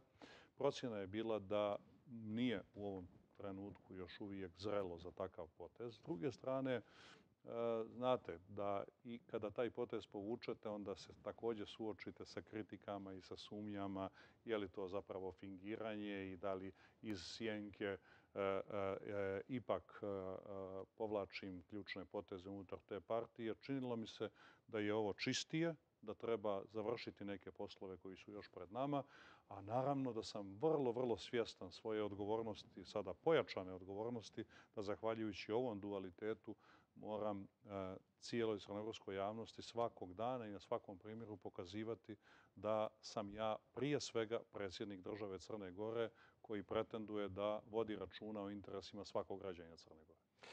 Sad još jedna važna i velika tema i nekoliko pitanja rastreciti ih do kraja i, i tu smo. Europska unija a, u jednom momentu se činilo nakon znaka stop ispred Sjeverne Makedonije i Albanije da, da je politika proširenja, ako ne mrtva, ono jedva živa. Međutim, neke stvari su se umeđu vremenu desile kao da je ta nepravda koja se desila Sjevernoj Makedoniji prije svega, onda i Albaniji i reakcija na nju možda malo prodrmala i sam Brisel i Francusku i tako dalje. I sad imamo Europsku komisiju koja izgleda onako iskrenije i češće i s više energije govori o temi proširenja nego što je to bio slučaj sa onom prethodnom. Je to moj utisak ili je zaista tako? To je i moj utisak. I moram da kažem da taj e, utisak negdje drži u optimizmu da je ova komisija, za razliku od prethodne, da kažem, svoj nastup obilježila upravo veoma snažnom podrškom politici proširenja. Podsjetit ću vas na one skeptične izjave s početka rada prethodne komisije. Nažalost, umeđu vremenu su se dogodili mm, neki, neki procesi koji, rekao bih se, manje tiču politike proširenja. Oni se više tiču Unije same. One su, ti, ti procesi su zapravo otvorili dilemu oko karaktera Unije. Dakle, možda nije su otvorili, jer ta dilema je postojala i prije, ali rekao bih do krajnje konsekvence izoštrili. Dakle, Unija kao zajednički dom koji ima svoje organe koji se biraju u demokratskim procedurama, dakle, e, ima određene politike, uključujući i politiku proširenja, ali se te politike, zahvaljujući takvom karakteru Unije, u svakom trenutku mogu blokirati iz e, nekog važnog političkog centra u Evropi. Ja mislim da smo već registrovali da pored inicijative od non-papera kojeg je Francuska dala vezano za model dalje politike proširenja, umeđu vremenu se pojavio i jedan mnogo značajniji papir za budućnost Evrope, a to je njemačko-francuski dokument kojim se, da kažem, utvrđuje neki program Eh, bavljenja Evropske unije samom sobom u periodu od početka 20. do početka 22. godine. Dakle, očigledno da su sve krize kroz koje je prošla Evropska unija dodatno naglasile potrebu preispitivanja modela eh, funkcionisanja Evropske unije. Dakle, unutar toga, naravno, nas zanima politika proširenja. Ja sam danas više optimista nego što sam bio prilikom donošenja odluke o početku pregovora sa Sjevernom Makedonijom i sa Albanijom, a negdje želim da, da svoj optimizam pojačam i tom inicijativnošću sada dvije ključne članice Unije nakon Brexita, dvije ključne članice Unije koje su očigledno spremne da otvore jedan proces preispitivanja, svestranog preispitivanja funkcionisanja Unije. Čini mi se da nam je e, kao evropljanima svima interes da Evropska unija bude jača, da bude konkurentnija na globalnoj sceni. I mislim da je ključno važno da, pored rešavanja brojnih pitanja koje se tiču njene ekonomske održivosti i konkurentnosti, pored pitanja kao što su klimatske promjene, dakle, se Evropska unija zaista sada e, dominantno udubi u pitanja svoje spoljne i bezbjednostne politike. Dakle, Evropska unija je čini mi se u prethodnom čitavom periodu negdje zapostavljala ta pitanja oslanjajući se na važna partnerstva, najčešće na partnerstvo unutar Euroatlantskog saveza. To ne treba ni slučajno zapostavljati ni dalje, ali je jako važno da u to partnerstvo budete sa vlastitim subjektivitetom i da taj subjektivitet počiva na onome što su vaši interesi. Dakle, Evropa napokon mora jasno pokazati svoju zrelost da gradi svoje, e, svoj, svoju spoljnu politiku i da prije svega se bavi pitanjima u susjedstvu, da nam se ne ponavlja ono što se događalo na sjeveru Afrike i na Bliskom istoku, nego to je u našem dvorištu. Moramo, čini mi se, mnogo pažljivije vagati politike koje se vode prema tim regionima i na taj način obezbjeđivati e, svoju stabilnost i izbjegavati opasnosti sa kojima smo se suočili prilikom onakvog talasa izbjeglica e, sa kojim smo bili suočeni. Samo dva pitanja još s ovim u vezi. Nije bilo tako davno. Manje od godinu, čini mi se, kad je izgledalo, to je bio jedan talas velikog pesimizma i zabrinutosti, da se više Evropa balkanizuje nego što se Balkan evropeizira. Je li ova nova energija koja se pojavila znak da, da je ta opasnost prošla? I tu sam više optimista. Zaista, ja ne, ne vjerujem da bez obzira na krize kroz koje je Evropa prolazila, postoji opasnost od balkanizacije Evrope. Dakle, kada govorimo o balkanizaciji, imamo u vidu onaj pežorativni aspekt tog, tog termina. Dakle, ja i dalje vjerujem zaista da će se Balkan europeizovati. Vjerujem da je, e, da kažem, taj put trasiran. Vjerujem da je Crna Gora neko ko predvodi Balkan na tom putu i da će sačuvati tu svoju prednost i će i dalje biti neko ko e, utire put ostalim zemljama Zapadnog Balkana. I vjerujem također da će to biti u najboljem interesu Evrope. Dakle, ja čitavo vrijeme ponavljam ne govorim o Evropi kao Balkanac sa pogrešnom percepcijom da treba da se nekako, pa makar i na mala vrata, dokopamo Evrope jer ćemo otuda dobiti neka povoljna sredstva. Ne. Ne, ne moramo da uđemo u Europsku uniju ni jedan dan prije nego što ispunimo sve strogo propisane uslove, jer želimo da uđemo na velika vrata i želimo da budemo ravnopravan dio savremene Evrope. Ali sam vrlo zainteresovan kako će ta Evropa izgledati, jer želim da budem dio Evrope koja će biti konkurentna na globalnoj sceni, a ne koja će biti drugorazredna. E sad, to drugo pitanje koje sam najavio. Garantuje li nam objektivnost ili možda čak neku vrstu naklonjenosti, ali rekli ste da nam to ne treba. Nekoliko važnih momenta. Na čelu sektora za proširenje sigurno naklonjen Crnoj Gori, Oliver Varhelj i Mađar. E, Hrvatska od januara preuzima predsjedavanje Evropskom unijom. Tonino Picula je izvještač Evropskog parlamenta za Crnu Goru. Na čelu konzervativaca najjače grupacije u Europskom parlamentu je provjereni prijatelj Crne Gore Tusk. Možda bi se još nečega moglo osjetiti, ali ovo su, čini mi se, neke stvari koje nam onako garantuju makar korektan odnos prema onome što ćemo uraditi. Važno je, kao što ste potencirali, na tim eh, važnim evropskim adresama i od definitivno uticajnih ljudi imati naklon odnos. Uzgred budi rečeno da ne propustim da kažem da se ta naklonost ne dobija ni sa kakvim eh, tajnim sentimentima, nego je tu naklonost Crna Gora zavrijedila onim što je radila u prethodnom periodu. Eh, ali važno je također i podsjetiti da bez obzira na pojedinačnu naklonost, presudno je važno da Evropa kroz ovaj proces o kojem smo govorili, da kažem, dobro de, definiše model svoje funkcionalnosti, da nađe pravo mjesto uticaja za a, a, evropske institucije, Evropsku komisiju, Evropski parlament, Evropski savjet, da a, kroz očiglednu spremnost evropskih institucija da dalje potencira važnost politike proširenja, obezbijedimo normalnu prohodnost državama sa Zapadnog Balkana ka, evropskom, ka, ka, ka članstvu Evropskoj uniji. I, naravno, kada imate podsticajnog partnera na drugom E, kraju ovog A ne nekog Štefana Filea, a sve sam vas ovo pitao sjećajući se recimo. Da. Ovaj, mogli bi se sjetiti mnogih.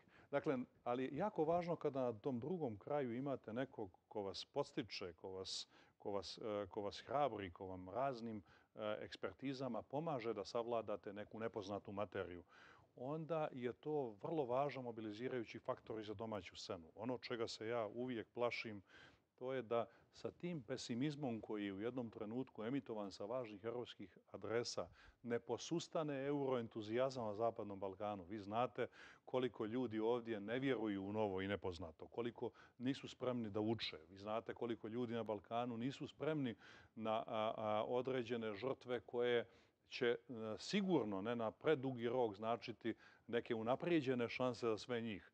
Dakle, nego su prije skloni status quo. Taj strah od nepoznatog razlog što je Crna Gora uzdržana povodom mini Schengena? Kada je u pitanju mini Schengen, želim da kažem da je to jedna od regionalnih inicijativa. Znate da smo vrlo posvećeni regionalnim inicijativama i da kao rezultat toga zaista nemamo spora ni sa kim od susjeda i ni sa kim u regionu. Posjećanja radi, mi učestvujemo u 27 regionalnih inicijativa kao punopravan partner, u četiri još kao posmatrač ili kao gost. I sa šest tih regionalnih inicijativa predsjedavamo ove i naredne godine, zato što se presjedavanje često prenosi mhm. iz jedne u drugu godinu. I to zaista imamo bogato iskustvo i da je uvijek svaka regionalna inicijativa kucanje na otvorena vrata kada je Crna Gora u pitanju. Malo smo zbunjeni i tražimo dopunska objašnjenja i dobijamo ih kroz razgovore koje smo imali u Ohridu i koje ćemo e, krajem ove nedelje imati u Tirani. Nadam se da ćemo, ih, da ćemo ih dodatno dobiti. Za sada je plan da idemo u Tiranu. Ovaj, dakle, tražimo odgovore samo da vidimo e, u kakvom, su odno, u kakvom je odnosu ova inicijativa sa aktuelnim inicijativama koje tretiraju ova četiri prava. Dakle, posjetit ću vas, to je CEFTA, to je Berlinski proces, to, je druga, to su druge regionalne inicijative i kada su u pitanju ova četiri prava, Crna Gora je ne samo prihvatila svoje obaveze iz do sada potpisanih dokumenta o regionalnoj saradnji, nego ih vrlo uspješno implementira. Dakle, mi nemamo nikakav problem sa putovanjima i prema Crnoj Gori, iz Crne Gore sa ličnom kartom i tako dalje i sa određenim e, pitanjima koja se tiču slobode protoka roba, usluga, kapitala i tako dalje. Dakle, e, za nas je prvo pitanje ne želimo da usvajamo inicijative koje mogu biti u konfliktu sa inicijativama za saradnju koje smo već potpisali, koje već primjenjujemo i koje nam otvaraju određene perspektive za e, e, dobijanje podrški za realizaciju nekih svojih važnih, važnih reformi. I drugo, ni pošto ne želimo regionalnu inicijativu koja može i u natruhama nositi opasnost da se protumači kao substitut za evropsku integraciju. Ne. Dakle, Milan Kučan je, izvinjam se, Milan Kučan je u intervju prošle nedjelje za Beogradski neđeljnik kazao da je mali Schengen ili mini Schengen, citiram ga, pranje ruku Brisela zbog nesposobnosti da nastavi politiku proširenja.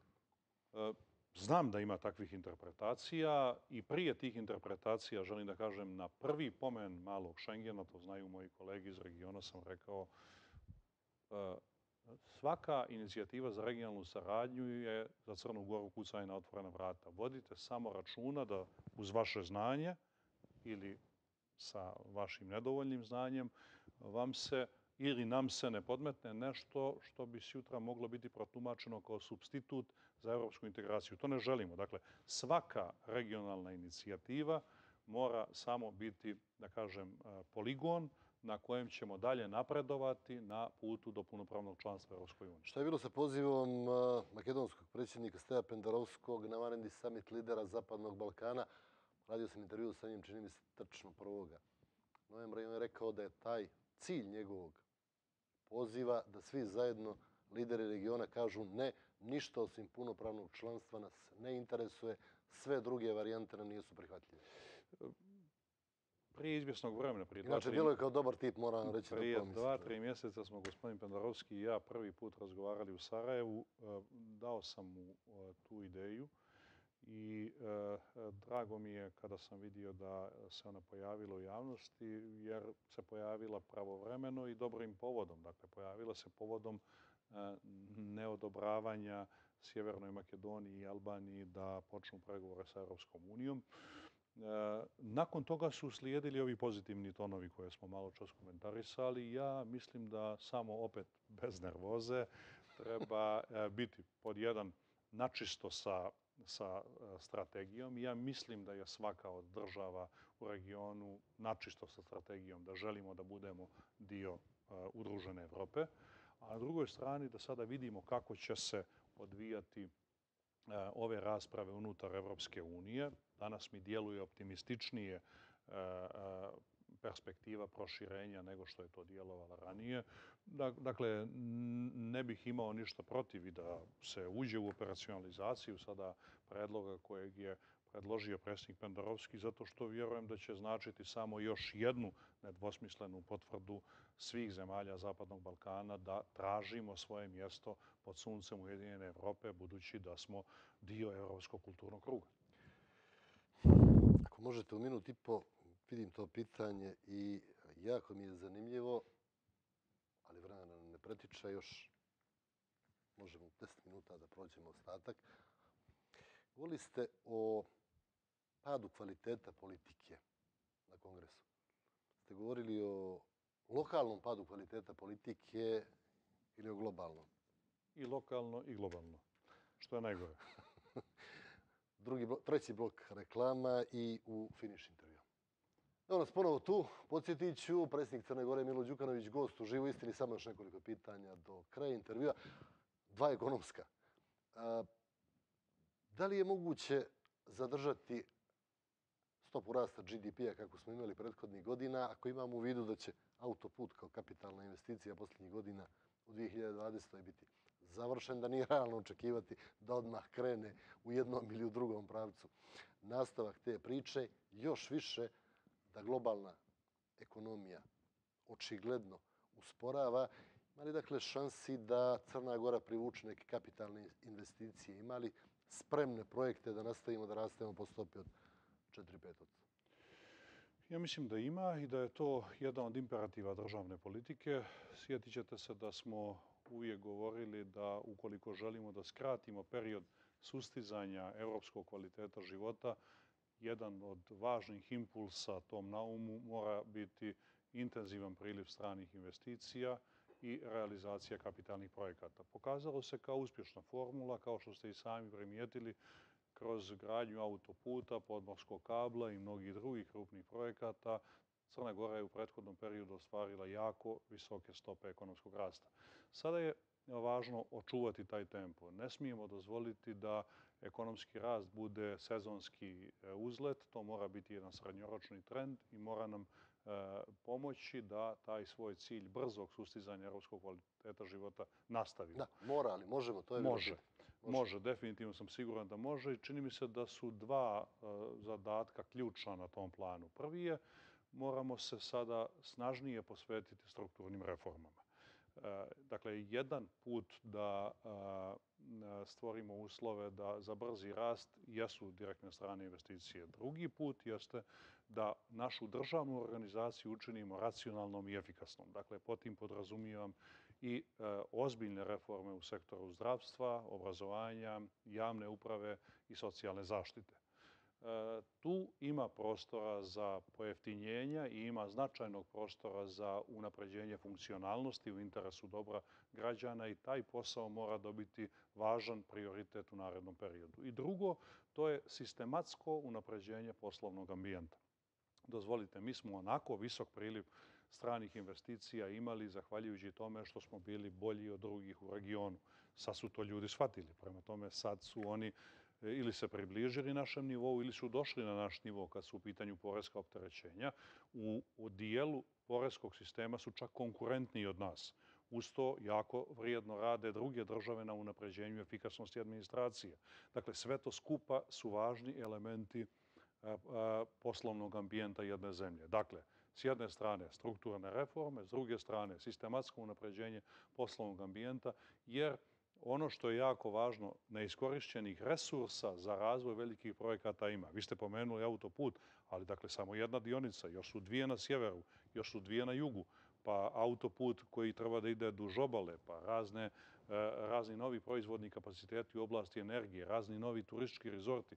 Ogroman posao može da se razvije ogroman strani kapital, može da uđe, da se otvori veliki broj novih radnih mjesta, da se obezbijede dobre stope ekonomskog rasta i da se potpuno učini realnim da u doglednoj budućnosti ljudi ovdje žive europskim kvalitetom života. Ali kakve šanse da konačno osjetimo korist od famoznog projekta ekonomskog državljanstva ili će ono i dalje samo političke štete da generiše, da bude povod za Ima. Sada smo, s negativnim predznakom. Ne, sada smo ušli u implementaciju toga. Mogao bi se složiti sa vama da je e, da, da, da, da, da smo trebali ranije ući u to, kao što bi se vjerovatno lako složili da i kod e, e, da kažem, ulaska u projekat razvoja aerodroma se moglo ući mnogo ranije. Međutim, znate sve, to je jedan politički kontekst koji zna da vrlo često uspori i realizaciju nečega što je neupitni razvojni prioritet. Ali kada je u pitanju ekonomsko državljanstvo, sada smo ušli u implementaciju. Prvi projekat je dobio E, e, svoju e, kvotu prava na ekonomska državljanstva. Znam za nekoliko drugih projekata koji su, rekao bih, u završnoj pripremi dokumentacije za predaju nadležnom državnom organu. Tako da mislim da će neupitno ekonomsko državljanstvo donijeti benefite ne samo budžetu, ali i budžetu, a donijeće, rekao bih, jedan novi razvojni impuls kroz gradnju novih struktura u Crnoj Gori. Jedno pitanje koje je do svega druga srećnija vremena možda trebalo da bude ključno u ovoj emisiji. Na kongresu ste govorili o potrebi, o važnosti obnove optimizma. Ste bili sami svjesni kad ste to pomenuli koliko je to komplikovana priča, koliko je to zahtjevno, koliko multidisciplinaran pristup analiza tog fenomena zahtjeva. I za ovu priliku samo jedna, onako natuknica, pošto smo pred kraj. Dakle, u modernim društvima, u obilju faktora koji kreiraju atmosferu u društvu, internet i tehnologija su sad već praktično predominantni. A tamo vam caruju hejteri, trolovi, tamo se ko guba šire, fake news i tako da i tako da. Mnogo razvijenije u svakom pogledu države od Crne Gore ne mogu da dobiju tu bitku, gube. Mi sad imamo zakon, set zakona o medijima koji čini mi se nije na tragu pokušaja zavođenja reda da se svim tim psihopatama, ludacima, organizovanim hibridnim ratnicima soli na rep stavi. Nije približno. Otvorili ste jednu temu koja je zaista jako zahvalna i koja bi tražila dug, dugu... Cijelu jednu emisiju. Da, da, cijelu jednu emisiju, ali dozvolite da, da, da, da ipak ne ostanemo sada dužni e, publici koja je čula, čula otvaranje, ponavljam, veoma važne teme. E, ja dijelim taj vaš jer, jer bez vraćanja optimizma, da. nade, ovo će ja, mnogo je. teže i sporije postajati opet ja, ja mjesto za ja život kakvo taj, može da bude. taj vaš utisak da, da, da, da je potrebno učvrstiti optimizam i da je potrebno dodatno ga snažiti. Ja zaista mislim da je to važan saveznik svake nacionalno odgovorne državne politike, Dakle, da, da, da, da, da je optimizam i, i, i svi oni subjekti koji doprinose društvenom optimizmu važan, važan saveznik, ali da, nažalost, tog saveznika u Crnoj Gori već dugo vremena nema. Dakle, kada pogledate objektivno kakva se slika od strane dijela javnosti iz Crne Gore stvara o Crnoj Gori, mogli biste izvesti zaključak da živite na najgorem mjestu na planeti ili da živite makar u zemlji koja je naučila toliko dobrog u istoriji da sad ne može se pomiri sa ovim padom kroz koji prolazi. Nije riječ ni o jednom ni o drugom. Dakle, Crna Gora nije najgore mjesto na planeti, nego danas jedno od boljih mjesta u jugoistočnoj Evropi. S druge strane, Crna Gora nikada nije živjela ni bogato, ni slobodno. Tako da ovo, ovaj napredak koji sada ostvarujemo u pogledu ekonomskog bogatstva i u pogledu demokratskih sloboda je zaista novi kvalitet Crne Gore. Ali Eh, kao što znate, eh, eh, upravo zahvaljujući globalizaciji, zahvaljujući digitalnom razvoju koji se događa danas u svijetu, dolazite u, u, u, u ovu paradoksalnu situaciju da se kad kada možete upitati da li sav taj silni tehnološki napredak vam olakšava ili otežava posao. Moglo bi se doći i do porešnog zaključka da, da, da otežava posao, a definitivno ipak tehnološki... Ne znam da li bi bio pogrešan. Da, ipak tehnološki razvoj je jako važan za napredak čovečanstva i zbog toga moramo kreativnije misliti kako se izboriti sa izazovima koji nam taj tehnološki razvoj nameće. Dozvolite da pomenem dva slučaja koji bi, čini mi se, mogli biti dosta poučni. Prvo, vidjeli ste, nedavno je u Crnoj Gori lansiran, lansirani su rezultati istraživanja Westminsterske fondacije, uh -huh. gdje se pokušalo predstaviti da u Crnoj Gori 70% mladih samo što se nije iselilo iz Crne Gore. Rezultati istraživanja su da 14% mladih uh, je počelo neku pripremu za eventualni izlazak iz Crne Gore, da 20% razmišlja o tome, a da čini mi se 36% ponekad razmišlja o tome. Dakle, to je sve naravno daleko od mogućnosti, a to možete staviti u isti kontekst.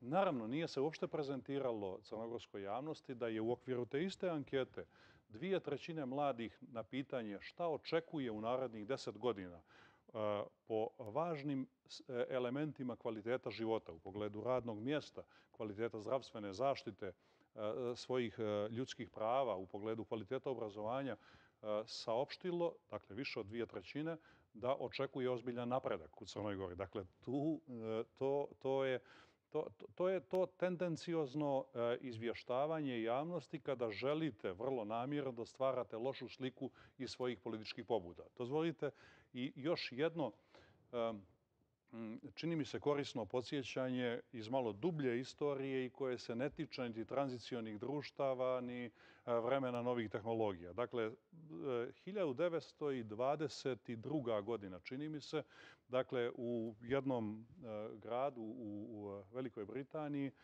dječak po imenu Hugh je ubijen i, da kažem, šaptačkom diverzijom to je pripisano jevrejima.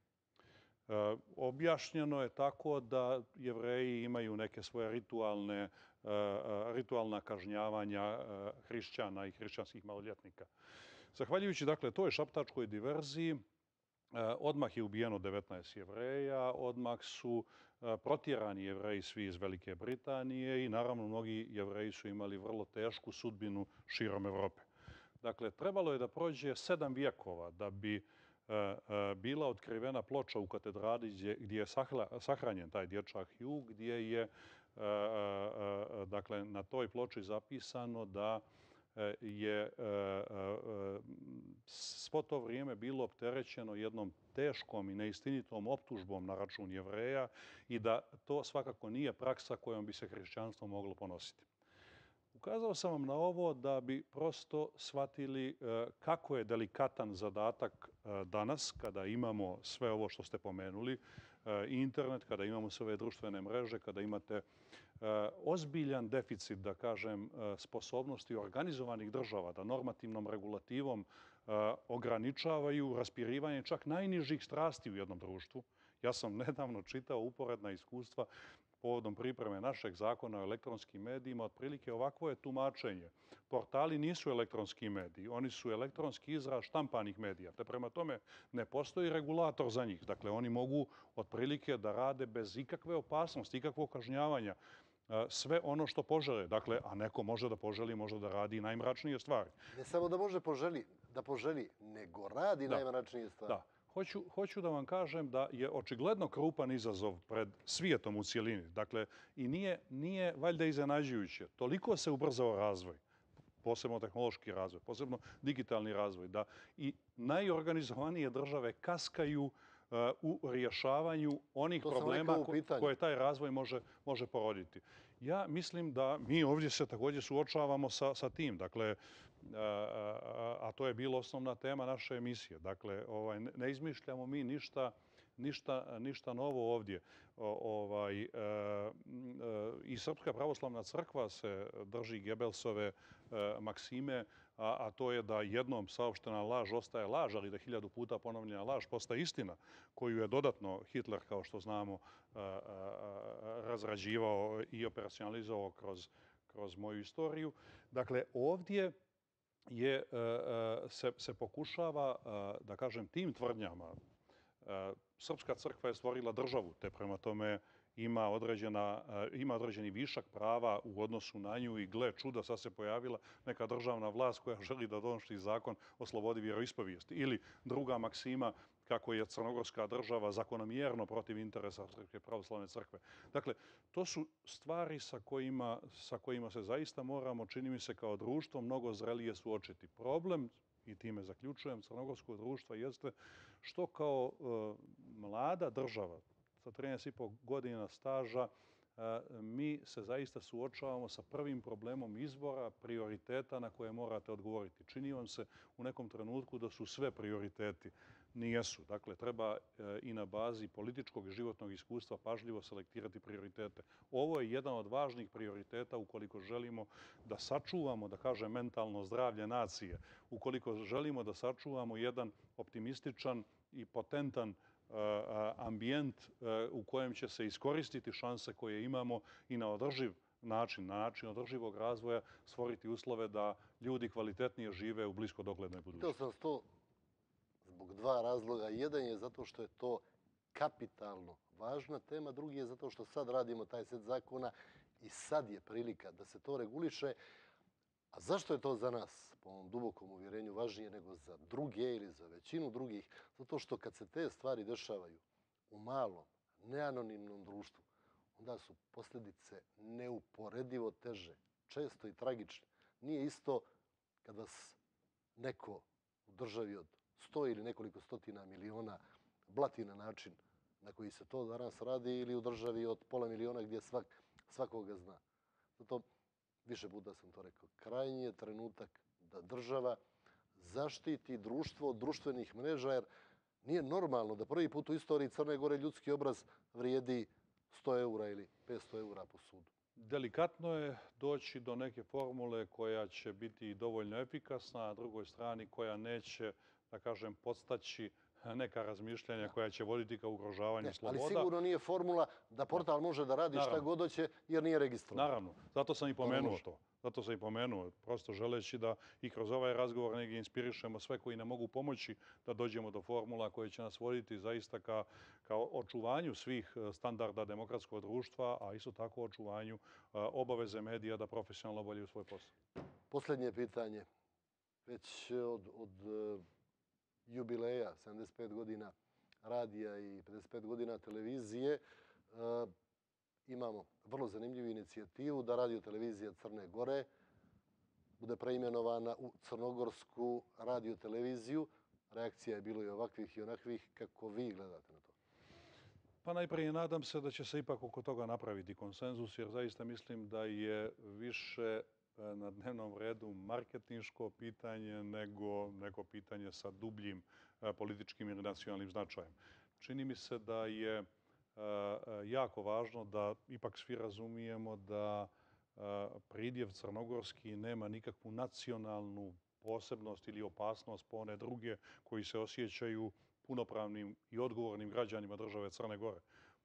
Krenimo od građana, valjda smo svi crnogorski građani, jel? Pa to valjda nikome ne smeta, bez obzira na nacionalnu i vjersku pripadnost. Prema tome, ne razmišljamo valjda da bi trebala da svaka nacionalna grupacija u Crnoj Gori ima svoj javni servis. Možemo imati jedan servis, koji, javni servis koji će voditi računa o potrebi objektivnog informisanja e, svih crnogorskih građana. Dakle, čini mi se da ako malo razlučimo stvari i ako malo, rekao bih, e, bez e, ikakvih manipulacija sa strane koje nam pomažu da raspirimo negativne strasti, razmislimo o ovom pitanju, da ćemo lako doći do zaključka oko toga kako bi, trebala, kako bi se trebao zvati javni servis Crne Gore. Veliko hvala što ste bili gost u Živoj Istri. Hvala vam. Poštovani gledalci, vama hvala na pažnji. Prijatno večer vam želim. Reprizu imate odmah iza ponoći, pa onda u nedjelju u 13 sati. Narodnog petka neki novi gost, možda i gosti. Zanimljiva sedmica pred nama. Vidjet ćemo i šta će biti tema, a zna se koja bi mogla biti favorit. Nakon toga, ali ima vremena da vam čestitam novu godinu. Dakle, definitivno laku noć, imajte lijep vikend.